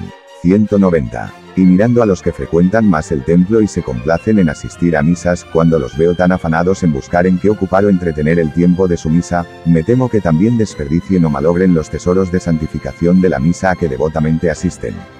¿Qué? ¿No les vendría mejor que leer oraciones rutinariamente, dedicar el tiempo de su misa a avivar el estado de gracia de su alma, por un acto lo más ferviente que pudieran de contrición, para unirse lo más íntimamente posible a Jesús sacerdote y víctima, y con el ofrecer y ofrecerse en sacrificio ladréutico, eucarístico, expiatorio e impetratorio a la mayor gloria del Padre Celestial, al amor de nuestros prójimos y odio de nuestros egoísmos y de nuestros pecados. Vaya si compensar y saborear esto y de ahí sacar resoluciones prácticas, hay para ocupar la media hora de nuestra misa y todas las horas de la vida. 12. El abandono del dogma de la comunión. 191. Vuelvo a declarar que no quiero espantar ni retraer. Lo que quiero es que se comulgue más y mejor y se sienta más delicadamente acompañado el Jesús de nuestra comunión. Dos causas encuentro de abandono de estas delicadezas para con él. Por exceso, el de los asustadizos y desconfiados, por mirar la comunión como premio de los que son justos. Este miedo quita comuniones e impide y ahoga no pocos frutos de las que se reciben. Por defecto, el de los desaprensivos con distintos matices, desde los mercaderes sacrílegos que la toman como mercadería con la que se compra dinero, buena apariencia, etc., hasta los rutinarios que promiscuan sin remordimiento ni escozores de conciencia su vida y actos mundanos, sus modas y diversiones atrevidas, sino malignas, con la recepción diaria o frecuente de la Sagrada Comunión. El justo término, la comunión es comida que pide de nuestra parte espiritual estómago limpio, estado de gracia, y un poquito de hambre recta y piadosa intención. El dogma de la comunión. 30. 192. Cuánto habría que lamentar y que declarar sobre ese poco reparado abandono de la teología de la comunión. Creo, sin embargo, que lo mucho, aunque nunca suficiente, que tengo escrito sobre este tema 16, me releva de extenderme sobre él. Una reflexión tan solo que descubra algo ese abandono y despierte ganas de conocerlo a fondo para repararlo con energía. Y esa reflexión me la dará hecha la respuesta a esta pregunta. Fin de la comunión. 193. ¿Para qué quiso y dispuso Jesús que se comulgara? Para regalar solo, o adornar las almas santas, como se regala un dulce al niño bueno. Para facilitar al alma adquirir esta o aquella virtud, o subir a las privilegiadas a un grado superior de fervor para recibir el más de cerca sus adoraciones, para ser el huésped benéfico de nuestra casa, el compañero de nuestra peregrinación. Más que para eso, Jesús quiere ser comulgado para un fin mucho más necesario y absoluto. Ese fin señalado y revelado con estas palabras, mi carne es verdadera comida, 17. Qué cuadro de maravillas de cielo y de misterios inefables se presenta ahora. Ya tenemos el velo levantado y la luz encendida para entrar en ese laboratorio del alma que acaba de comulgar. Inmediatamente, el fin es alimentar la vida sobrenatural del hombre todo con su carne viva, y, inmediatamente y de modo gradual y lento, asimilar y transformar al hombre todo en todo él. 194. La comunión tiende por su propia virtud, y llega, si no se le pone obstáculo voluntario por el hombre, a unir, por asimilación, a cada hombre con Cristo, dándole a vivir la misma vida suya, no solo de hombre, sino de Dios. En unión tan íntima y en semejanza de vida tal como la de un hermano con su hermano, como la de un miembro de un cuerpo con otro miembro del mismo, de tal modo que toda comunión, por propia virtud y por la intención de su divino autor, no deja de obrar e influir hasta hacer de cada comulgante un hijo verdadero de Dios. Hermano perfecto de Jesús, miembro vivo y rebosante de salud de su cuerpo. Participante y heredero de todos sus bienes y méritos. En una palabra, otro Jesús. 16 CFR. Especialmente, Florecillas de Sagrario, y, Mi Comunión de María. 17 JN 6,55. 31. El modo de la comida sacramental. 195. He dicho antes que nuestro Señor se ha complacido en hacer todas sus obras a modo de siembra. Él se ha reservado hacer por sí mismo lo que únicamente no podía comunicar, la creación de la vida de la semilla. Pero el desarrollo, el crecimiento, la lucha, la fecundidad de esta, se ha dignado hacerlas a medias con las causas segundas. La comunión, más que una siembra, es una manducación, digestión y asimilación de Jesús vivo, por el hombre. ¿Para qué? Sin duda para preparar gradualmente y obtener de cosecha en su día, muchos hombres, Jesús, y tal como hoy es y está Jesús en el cielo. Esto es, como hombre, Dios sacrificado y glorioso. O más breve, como hostia gloriosa del cielo. Y no es esta una afirmación nacida de un atrevimiento de fantasía o de retórica. Es la palabra infalible del mismo Jesús quien la autoriza. El mismo que dijo, yo vine para que tengan vida la vida más rica y abundante de todas las vidas. 18, dijo, el que come mi carne y bebe mi sangre tiene la vida eterna o divina. 19 y no deja otro camino o modo para obtener esa vida, si no comiereis la carne del Hijo del Hombre, no tendréis vida en vosotros. 20. Pero, esa vida que nos vendrá por la manducación de su cuerpo, será la misma vida suya entera, su vida, no solo de hombre, sino de Hijo de Dios, y su vida de hostia en el cielo. No hay duda. Quien come mi carne, en mí mora y yo en él. Así como mi Padre, que me ha enviado, vive y yo vivo por el Padre, así, quien me come, también él vivirá por mí. 21. Por la comunión de Cristo sacramentado y solo por ella, entra el hombre en comunión y comunicación de su vida divina y llega a hacerse otro Cristo. Olvido de esta doctrina. 196. Qué pena da ver a tantas almas tratando años y años de su vida interior, espiritual, devota y piadosa, y empeñadas en buscarla en prácticas y doctrinas, por caminos y modos que nada o muy poco tienen que ver con esta práctica y doctrina únicas verdaderas y con estos caminos y modos únicos, seguros, de transformación en Cristo y la unión en caridad perfecta con Dios por la comunión, como aquí expongo. 18 JN 10,10. 19 JN 6,54. 20 IB 53. 21 IB, 56, 57. 32. Verdad que le tendría mucha cuenta a la piedad cristiana no olvidar jamás ese carácter asimilativo y victimal con Cristo, de la comunión. Se han separado tanto, por la piedad rutinaria y superficial, la misa que es el sacrificio, y la comunión, que es la participación de él y comida de la carne sacrificada del Cordero de Dios. Comulgamos para ser y dejarnos hacer cada día más corderos sacrificados por el amor de Dios y de nuestros prójimos. 13. El abandono de la liturgia de la Sagrada Comunión. De cómo la participación litúrgica de la Santa Misa incluye la mejor preparación y acción de gracias de la Sagrada Comunión. 197. Apuro es, y grande, para no pocos cristianos acertar en que pueden emplear la media hora de la misa, para no aburrirse en ella. De ahí ese afán de rellenarla con devociones particulares, lecturas de oraciones, etc., y cuenta que aquí no hablo más que de los buenos asistentes a misa, y no de los distraídos, aburridos, charlatanes, provocadores asistentes a no pocas misas, singularmente de días de precepto o de difuntos. Un conocimiento, siquiera rudimentario, de la liturgia de la Santa Misa, evitaría todos aquellos afanes por buscar rellenos píos a una media hora tan rebosante de misterios, enseñanzas y utilísimas atracciones y ocupaciones del espíritu cristiano 22. Cuanto mejor asistir a la misa siguiendo la ordenación litúrgica y comulgar en ella. 198 con la atinadísima y razonable distribución litúrgica de la misa ante la mente y dando de lado a otros libros y devociones, por buenos que sean, para sus tiempos y oportunidades, póngase el asistente al santo sacrificio, a purificarse, iluminarse, entregarse, inmolarse, unirse y agradecer sucesivamente con la Santa Madre la Iglesia militante, que es la principal oferente, y el sacerdote celebrante comulgue cuando llegue su momento solo con las disposiciones que el paso de esas consideraciones haya dejado en su alma y, buena comunión hará, a fe mía, y muy a gusto del corazón de Jesús y de su Iglesia Santa. 22. Téngase presente que desde las nuevas normas litúrgicas del CON. Vaticano II, una participación más activa en la misa, es lo normal. Y a eso es a lo que aspiraba don Manuel, según se deduce de los textos siguientes, adelantándose muchos años, a lo que el Vaticano II mandaría e impondría. 33. La comunión en la misa parroquial. 199. Y sube de punto el encarecimiento del fruto de esas disposiciones, si la misa en la que se participa es la comunitaria que el párroco cada domingo y día festivo, celebra precisamente por su pueblo, y en la que éste toma parte activa, como quiere la Iglesia. Qué hermosa y viva representación en la unidad, santidad y catolicidad de la Iglesia es esa unión y colaboración activa de los fieles con su pastor en el acto central y esencial del culto, el ofrecimiento del sacrificio de la mayor gloria de Dios, y en la participación del mismo por la comunión, que es la mayor gracia de Dios. Asistan todos los más feligreses que puedan, altos y bajos, ocupados y desocupados, a su misa parroquial.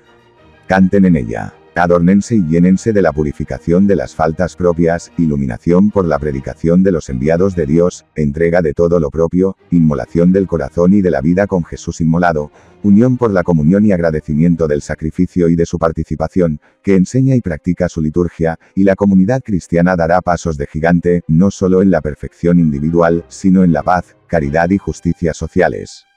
El tiempo de comulgar. 200. Como aquí no me dirijo exclusiva ni principalmente a sacerdotes, dicho se está que no he de ocuparme en las ceremonias y ritos con que aquellos deben administrar el augusto sacramento.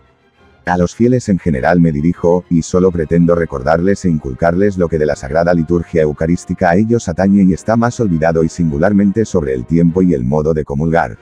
Si se trae a la memoria lo que en capítulos anteriores he repetido, a saber, que la Sagrada Comunión no es solo ni principalmente un banquete de honor, de fiesta o de regalo, sino una comida sacrificial, o sea, una participación del augusto sacrificio de la misa, por la cual comemos la carne y bebemos la sangre de Jesucristo, que han sido ofrecidas en sacrificio real.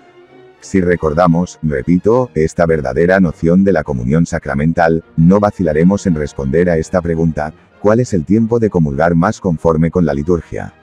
Indudablemente, el tiempo más próximo y unido al del sacrificio, de que es participación. Es decir, a continuación de la comunión del sacerdote celebrante. Ese es el tiempo propiamente litúrgico de la comunión de los fieles, y sobre ese supuesto de que estos se unan a aquel, no solo para ofrecer el sacrificio mío y vuestro, dice el sacerdote, sino también para participar de él, comiendo la víctima santa, están hechas las oraciones del misal, lo mismo para la preparación que para la acción de gracias. 34. 201. Cierto que la Iglesia, Madre benigna, inspirada en los sentimientos y ansias de su divino fundador, de ver llena su casa de comensales, con desallende con que se pueda dar y recibir la Sagrada Comunión fuera de la Santa Misa. Pero no se olvide que es condescendencia con la falta de tiempo, de misas, de facilidades y con la sobra de ocupaciones. El gusto, la preferencia, la intención primera de la Madre Iglesia es que se comulgue dentro de la Santa Misa. Así lo practicó perpetuamente la Iglesia y así lo enseñó e hizo saber en el Concilio de Trento y el Código de Derecho Canónico. Que contrarias son, pues, al espíritu litúrgico, exclamaciones como estas de personas piadosas, no me gusta mezclar ni atropellar devociones. La misa a un lado y la comunión a otro. Con hacer las dos cosas juntas, oír misa y prepararse a comulgar, no se sabe a qué atender. A mí no me gusta comulgar a plazo fijo, sino cuando he rezado y leído toda la preparación de mi devocionario. Me resulta tan pesado esperar toda una misa para comulgar. Y otras distintas pero que convienen entre sí en desconocer prácticamente que no hay mejor preparación ni acción de gracias para la Sagrada Comunión, que una misa bien oída o meditada, no precisamente según este o aquel devocionario, sino según el propio misal. El abandono de la liturgia de la comunión en el vestir. 202. Advierto que al hablar aquí de la liturgia del vestido para la comunión, no tomo la palabra liturgia en un sentido riguroso, sino amplio. Aunque la liturgia propiamente no da prescripciones más que sobre los vestidos de los ministros de la comunión, por ampliación y como por correspondencia, también impone a los comulgantes ciertas condiciones en su modo de vestir al acercarse a la mesa santa. Si al sacerdote no le es lícito, fuera del caso de necesidad, administrar la Sagrada Comunión con su traje ordinario, sino que por respeto y veneración al sacramento, ha de revestirse de ornamentos sagrados no será muy conforme a la razón y justicia que al fiel que se dispone a gozar del honor y de la dicha de ser comensal de tan rica y augusta mesa, se le exija en su traje alguna señal extraordinaria de veneración y respeto. Y digo alguna señal porque, siendo la comunión para todos, para ricos y para pobres, y por intención y deseo de su divino autor, manjar de todos los días, la Santa Madre Iglesia jamás ha mandado determinada forma ni clase de vestido para comulgar, no fuera a poner el más leve obstáculo a la frecuente comunión por parte de los impedidos por pobreza o cualquier otro motivo de adquirir o usar el traje preceptuado. 35. A una sola condición ha reducido la Santa Iglesia lo que pudiera llamarse liturgia del traje para comulgar, y esa condición se llama decencia. Y cuenta que decencia no es suntuosidad, ni galas, ni lujo. No está la decencia del traje en su valor, que no está al alcance de todos por igual, sino en su limpieza y en su modestia. Y en esto, que está a la disposición de todos, es en lo que la Madre Iglesia pide algo extraordinario al comulgante. Que bien entendieron nuestros mayores este sentir y desear de la Iglesia. 203. Antes, en tus sagrarios más frecuentados, Jesús mío, cuando se alzaban los ojos, no se veía más que a ti. Hoy en muchos de ellos no se te puede ver porque no se puede mirar.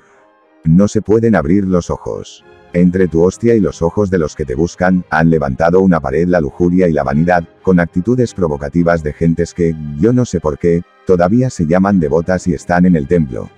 Señor obispo, me han dicho muchos jóvenes que quieren ser cristianos de verdad, ni aun en los sagrarios se va pudiendo ya estar en paz con Jesús. Abandono de sagrarios acompañados, y muy elegantemente acompañados. Cómo no sentirte y desagraviarte.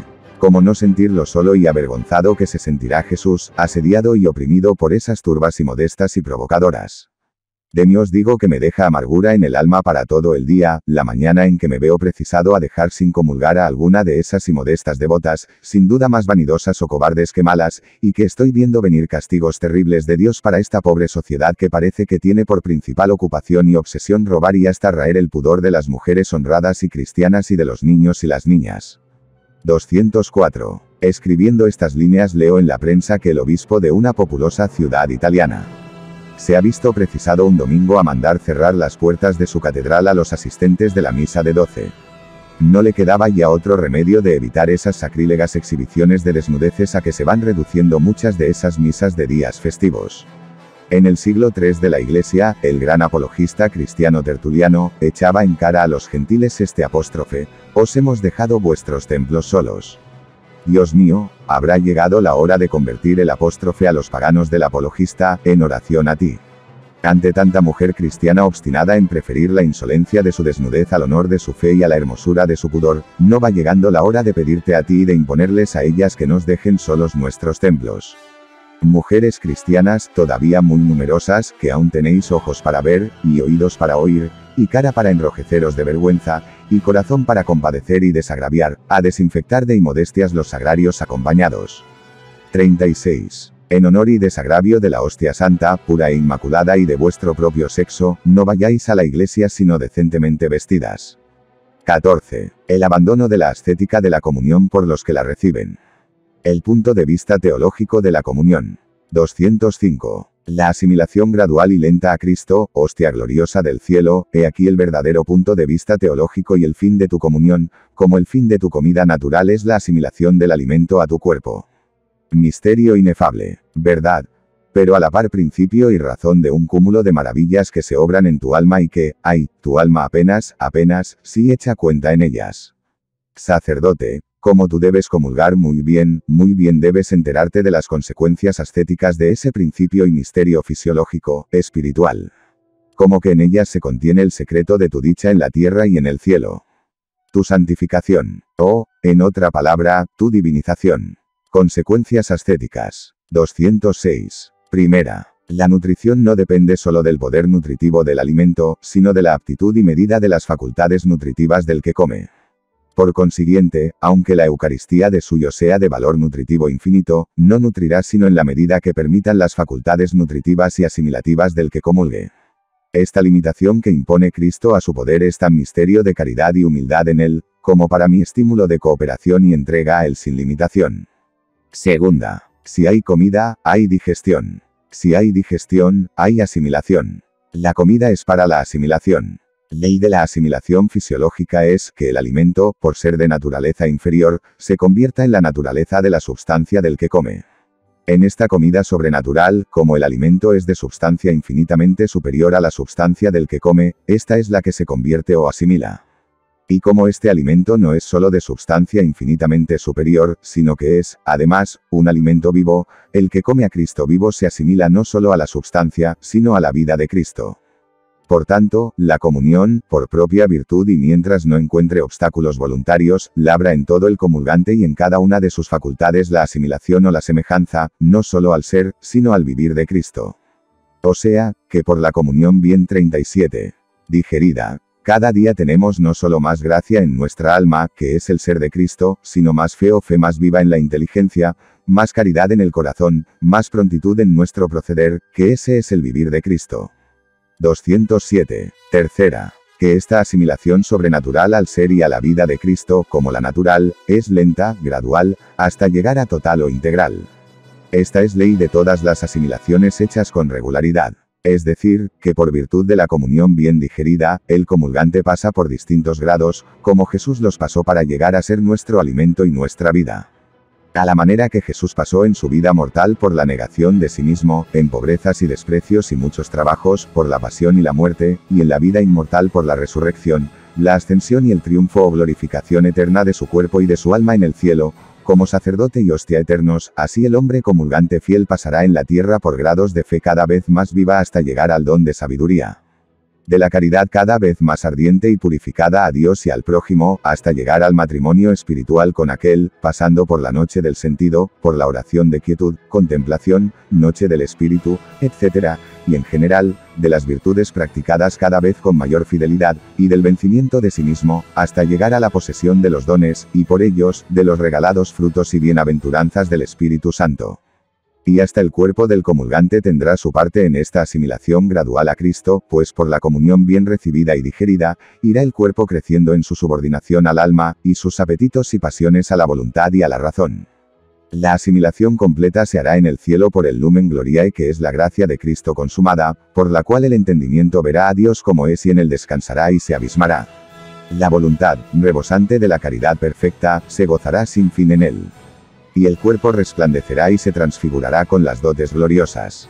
Y el hombre, el venturoso comensal de la Eucaristía, llegará a la perfección suma, a la plenitud de parecido y de unión con Cristo, su manjar, su modelo y su asimilador. 208. Cuarta. Que por la misma razón de darse Jesús al modo de la comida natural, que se repite, y mientras más mejor, así debemos repetir la comunión. El bautismo, por ejemplo, no se repite porque la gracia suya no se da como comida, sino como nacimiento a la vida sobrenatural, y no se nace más que una vez. En el bautismo hay muerte del hombre viejo, el del pecado original y totalmente extraño a Jesucristo, y se nace a la vida de la gracia, y las dos cosas no se hacen más que una vez. Y quinta, y es la consecuencia más práctica que para que la comunión obre en nosotros esos misterios y maravillas de asimilación y transformación, no nos toca más que esto, dejarnos hacer hostias, poniendo toda nuestra voluntad en morirnos a nuestro egoísmo y entregarnos al amor de Dios y de los prójimos por él. 38. Una pregunta de respuesta muy triste. 209. Se conoce, se divulga, se comenta, y, sobre todo, se practica esta verdadera doctrina de ascética y mística por la comunión bien comida y digerida. Sacerdotes, sacerdotes, almas de sagrario. Son nuestras comuniones sumas o restas de caridad. 15. El abandono de la Eucaristía, presencia real. Los cuatro abandonos. 210 expuestas en capítulos anteriores varias de las formas de abandono con las que afligen al corazón eucarístico de Jesús en su estado de misa y comunión, no los infieles o herejes, impíos o indiferentes que, o no creen en él o no lo tratan jamás, sino sus amigos, sus asiduos comensales y visitantes, quédame, para dar remate a este somero y triste estudio, presentar algunos modos de abandono que también por parte de sus acompañantes recibe hartas veces nuestro paciente Jesús en su vida o estado de sagrario. Y, sin más preámbulos, puesto que hablo con corazones amigos y enterados, con los que no hay que gastar tiempo disipando prevenciones o ignorancias, apunto las formas de abandonos con que, a mi pobre juicio, lastiman, y no digo ofenden porque casi siempre es más la rutina o la ligereza que la mala voluntad la actora, las almas buenas al corazón de Jesús en su presencia real del sagrario. A saber, el corazón de Jesús suele estar abandonado en sus sagrarios acompañados. Primero, por la escasa compañía de presencia corporal y espiritual. Segundo, por la débil compañía de imitación. Tercero, por la fría compañía de compasión. Cuarto, por la rarísima compañía de la confianza filial y afectuosa. Cierto que ninguna de esas faltas de compañía pueden pesarse, contarse ni medirse por los medios humanos. Pero los ojos, los oídos y sobre todo, el corazón que miran, oyen y palpita al lado de allá de la puertecita dorada, vaya si pueden pesar, contar y medir esas faltas y echar de menos las compañías a que esa rica, exuberante, regalada, fecunda y radiante presencia real tiene derecho. 211. ¿Cuántas veces, ante una gran muchedumbre de cabezas inclinadas ante el sacerdote, que bendice con la hostia consagrada o la pasea en triunfo, se derraman 239? Clases de lágrimas, de satisfacción y consuelo por nosotros los que estamos al aldo de acá, por lo que se rinde ante la presencia de Jesús, y de pena y desconsuelo, al lado de allá, por lo que no se acaba de rendir y dar a Jesús. Está Él en el sagrario tan dado a cada uno de nosotros. Tiene tanto derecho y nosotros tanto deber de que nos demos a Él de todos los modos. ¿Cuánto hay que hablar de esto, amigos míos? 16. El abandono por la falta de presencia. La presencia corporal. 212. Hablo de sagrarios en los que no faltan comuniones y visitas, y aun de los de muchas comuniones y visitas. Y de ellos digo que las más de las veces el corazón de Jesús, que allí mora, más motivos tiene para quejarse del abandono de los que no van nunca o lo que debieran, que para alegrarse de la compañía de los que le obsequian cada día con su presencia. Unas cuantas preguntas, tan solo, sin necesidad de añadir la respuesta, irradiarán la luz meridiana a la cuestión. En esos sagrarios acompañados dan el obsequio y homenaje a su presencia todos los católicos que viven a su sombra. La mayor parte de ellos, siquiera. Si no la mayor parte un tanto por ciento a lo menos de consideración, como el 50, el 40, el 30, el 20%. Y nota que pregunto por la presencia como obsequio y homenaje al sagrario, no como curiosidad a los objetos de arte del templo, como devoción a alguna imagen o asistencia a algún acto de la iglesia. Mi pregunta es esta, ¿son muchos los vecinos y vecinas de un sagrario que van a su parroquia, a su iglesia, a visitar a su vecino Jesús, a echar un rato con él? ¿Verdad que es menos triste responder con el silencio que con cifras desnudas? La presencia espiritual, 213. Pero avancemos en ese desolador interrogatorio. De esos 5, 10, 20% de los vecinos que van a su sagrario cada día o muy frecuentemente y le dan aspecto y casi título de sagrario acompañado, obsequian y honran al Jesús que allí vive con toda la presencia que él tiene derecho a esperar y ellos obligación de ofrecer. 40. Y allá van preguntas, Jesús está en el sagrario no en momentos del día o de la noche sino en todos los minutos del día y de la noche y está no en representación de imagen o en una reliquia de su cuerpo, o en una palabra de su boca, sino que está presente, entero y vivo, en cuerpo, sangre, alma y divinidad. Pues bien, yo no pregunto si los que conocen esta dulcísima presencia de todo Jesús en su sagrario, le corresponden con su presencia perenne de cuerpo y alma, que ya sé que no puede ser, ni él lo pide sino esto solo, los enterados de la presencia real y perenne de Jesús en el sagrario le corresponden con toda la presencia corporal y espiritual compatible con sus otras atenciones. 214. Si el amor se goza en la presencia, los que dicen amar a Jesús sacramentado con toda su alma y sobre todas las cosas, se pasan más tiempo con él que con las demás personas y cosas que dicen amar menos que a él. Sé que aunque quisiéramos no podemos dar a nuestro sagrario toda la presencia corporal que él se merece y tiene ganada por su permanente presencia corporal en él. La dificultad del tiempo, de la distancia, de las ocupaciones, de la puerta cerrada de la iglesia, de la salud, etcétera, etcétera, limita, es cierto, la satisfacción de nuestros deseos.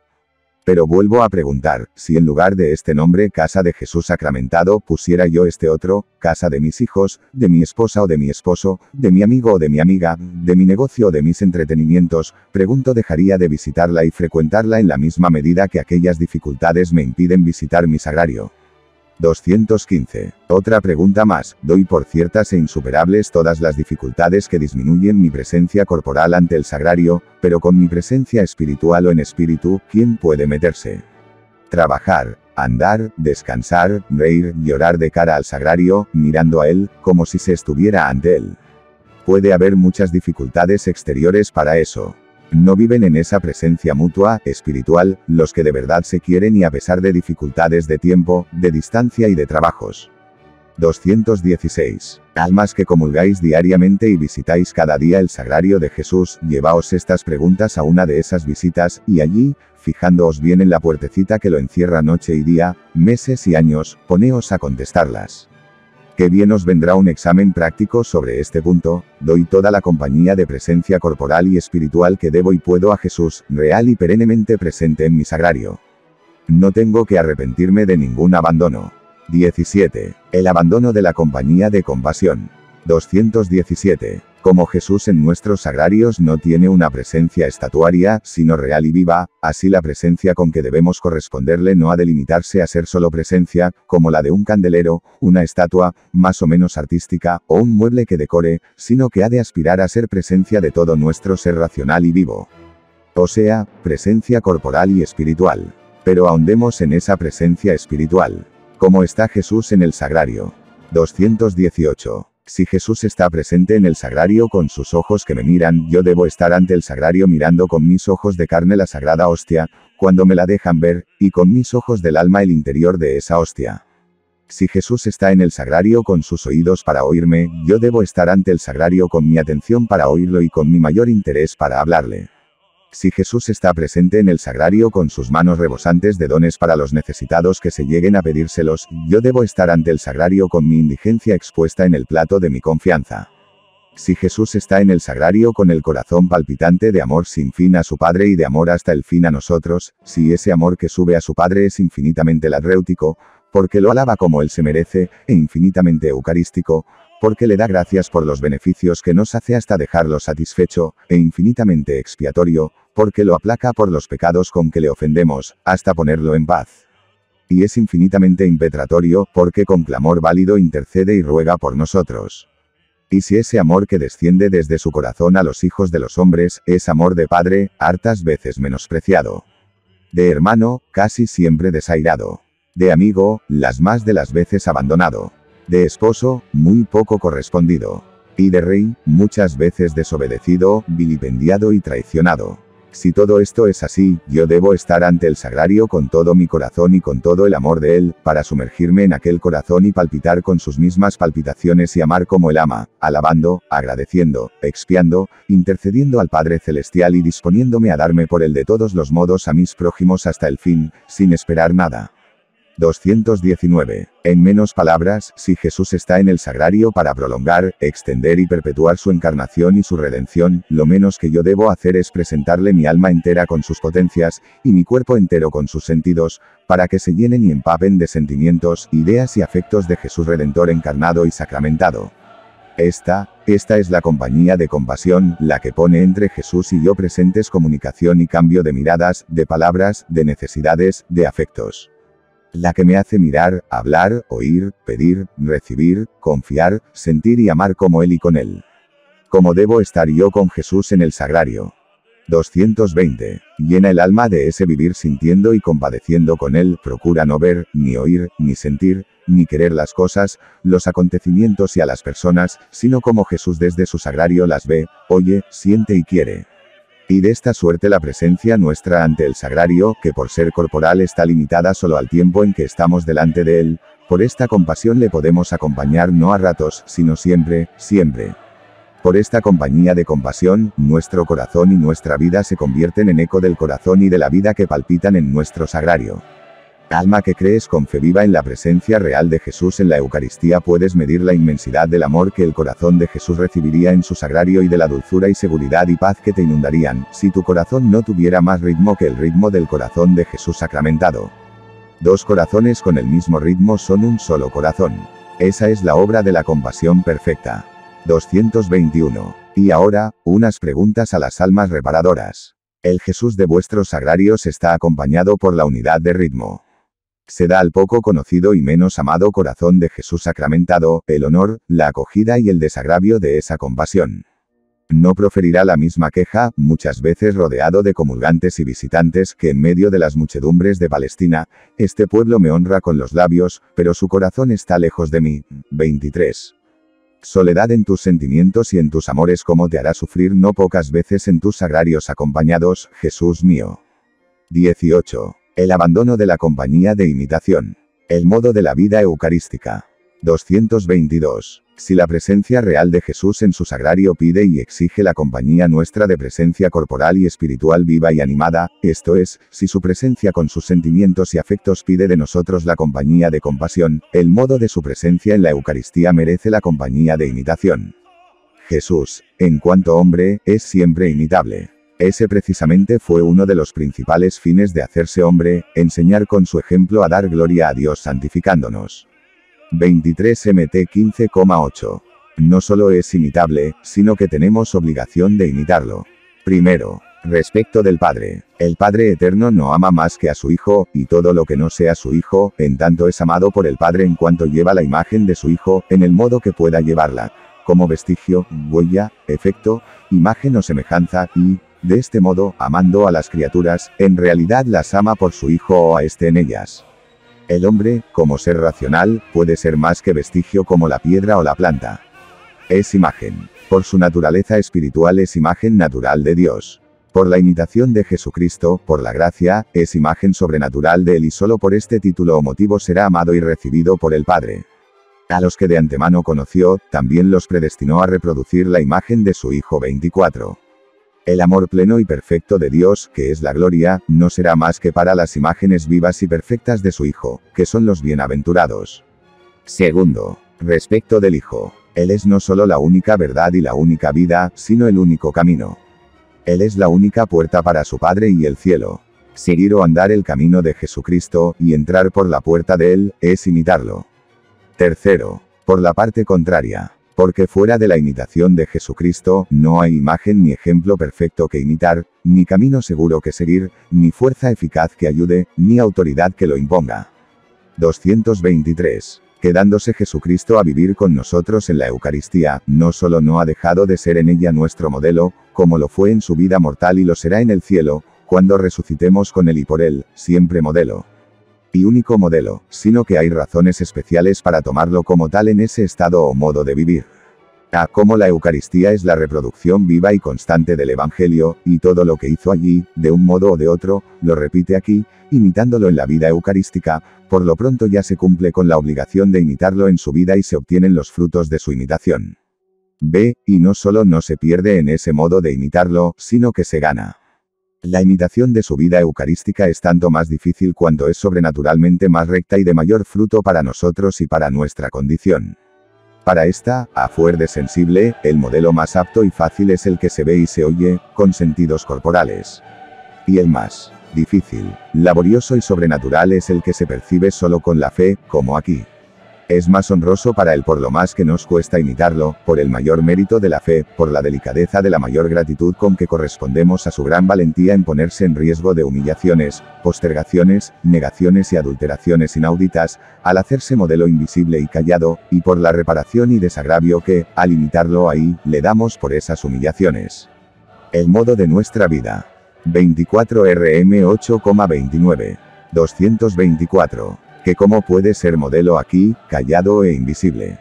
En eso mismo que nos certifican nuestros sentidos, unido y comentado con lo que de él nos dice la fe. Esta fe nos dice de cierto, primero, que está presencia real permanente. Segundo, que está dispuesto a darse a todos en comida, comunión. Y tercero, que está como cordero sacrificado al Padre por todos, misa. Unamos ese estar, darse y sacrificarse Jesús, Dios y hombre verdadero, siempre y en cada sagrario con su silencio e invisibilidad de Jesús sacramentado, y qué más modelo. Estar en nuestro deber, mandamientos de Dios y de la Iglesia, propio estado y voluntad de Dios en cada hora y minuto. Darnos a nuestros prójimos buenos o malos, agradecidos o ingratos y morir a nosotros mismos, y como corderos sacrificados ofrecernos a la mayor gloria de Dios y santificación propia y ajena, porque así lo hace Jesús sacramentado, en silencio e invisiblemente como Él lo hace y para honrarlo y desagraviarlo en su caridad callada e invisible del sagrario. Esa es sin duda la más perfecta imitación y la más fecunda para Dios, para los hombres, para los pueblos y para nosotros mismos. Tres puntos de examen. 225. Almas de sagrario, deteneos sobre estos tres puntos de examen. Seguramente en los ratos que preceden o siguen a vuestras comuniones o que invertís en vuestras visitas, habéis rendido homenajes al Rey Jesús y tiernamente platicado con el Padre, hermano, esposo y amigo Jesús, y habéis hecho muy bien.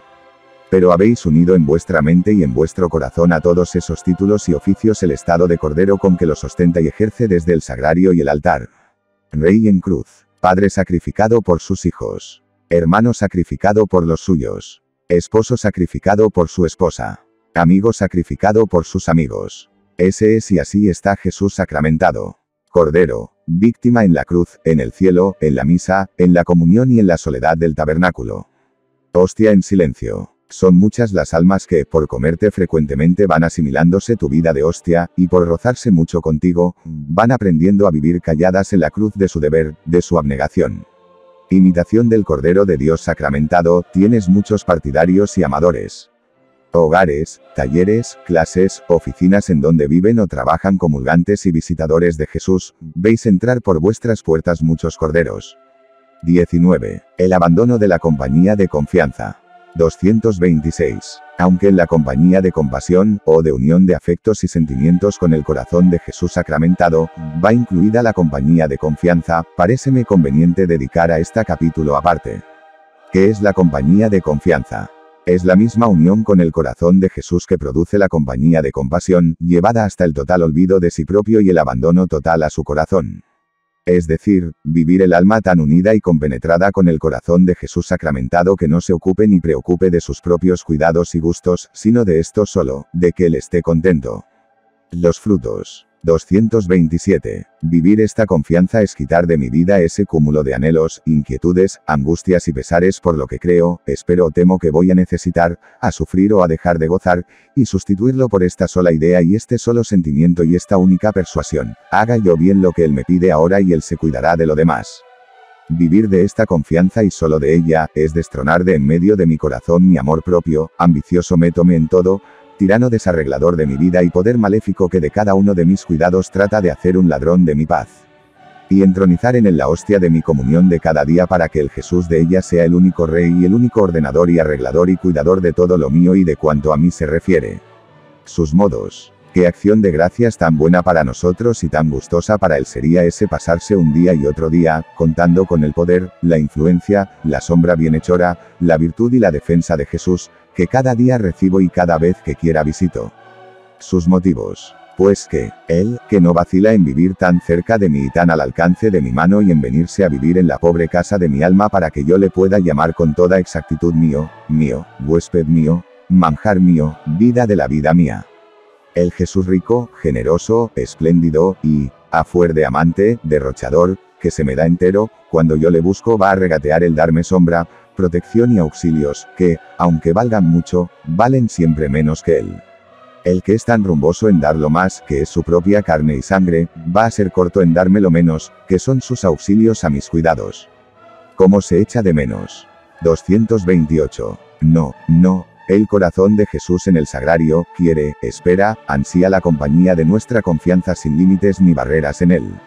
No dársela es hacerle una de estas dos ofensas, o las dos juntas, la ofensa de la soberbia que dice no te necesito, me basto yo. O la ofensa de la incredulidad o de la fe a medias que murmura desdeñosa, en estas menudencias mías como se va a meter un Dios.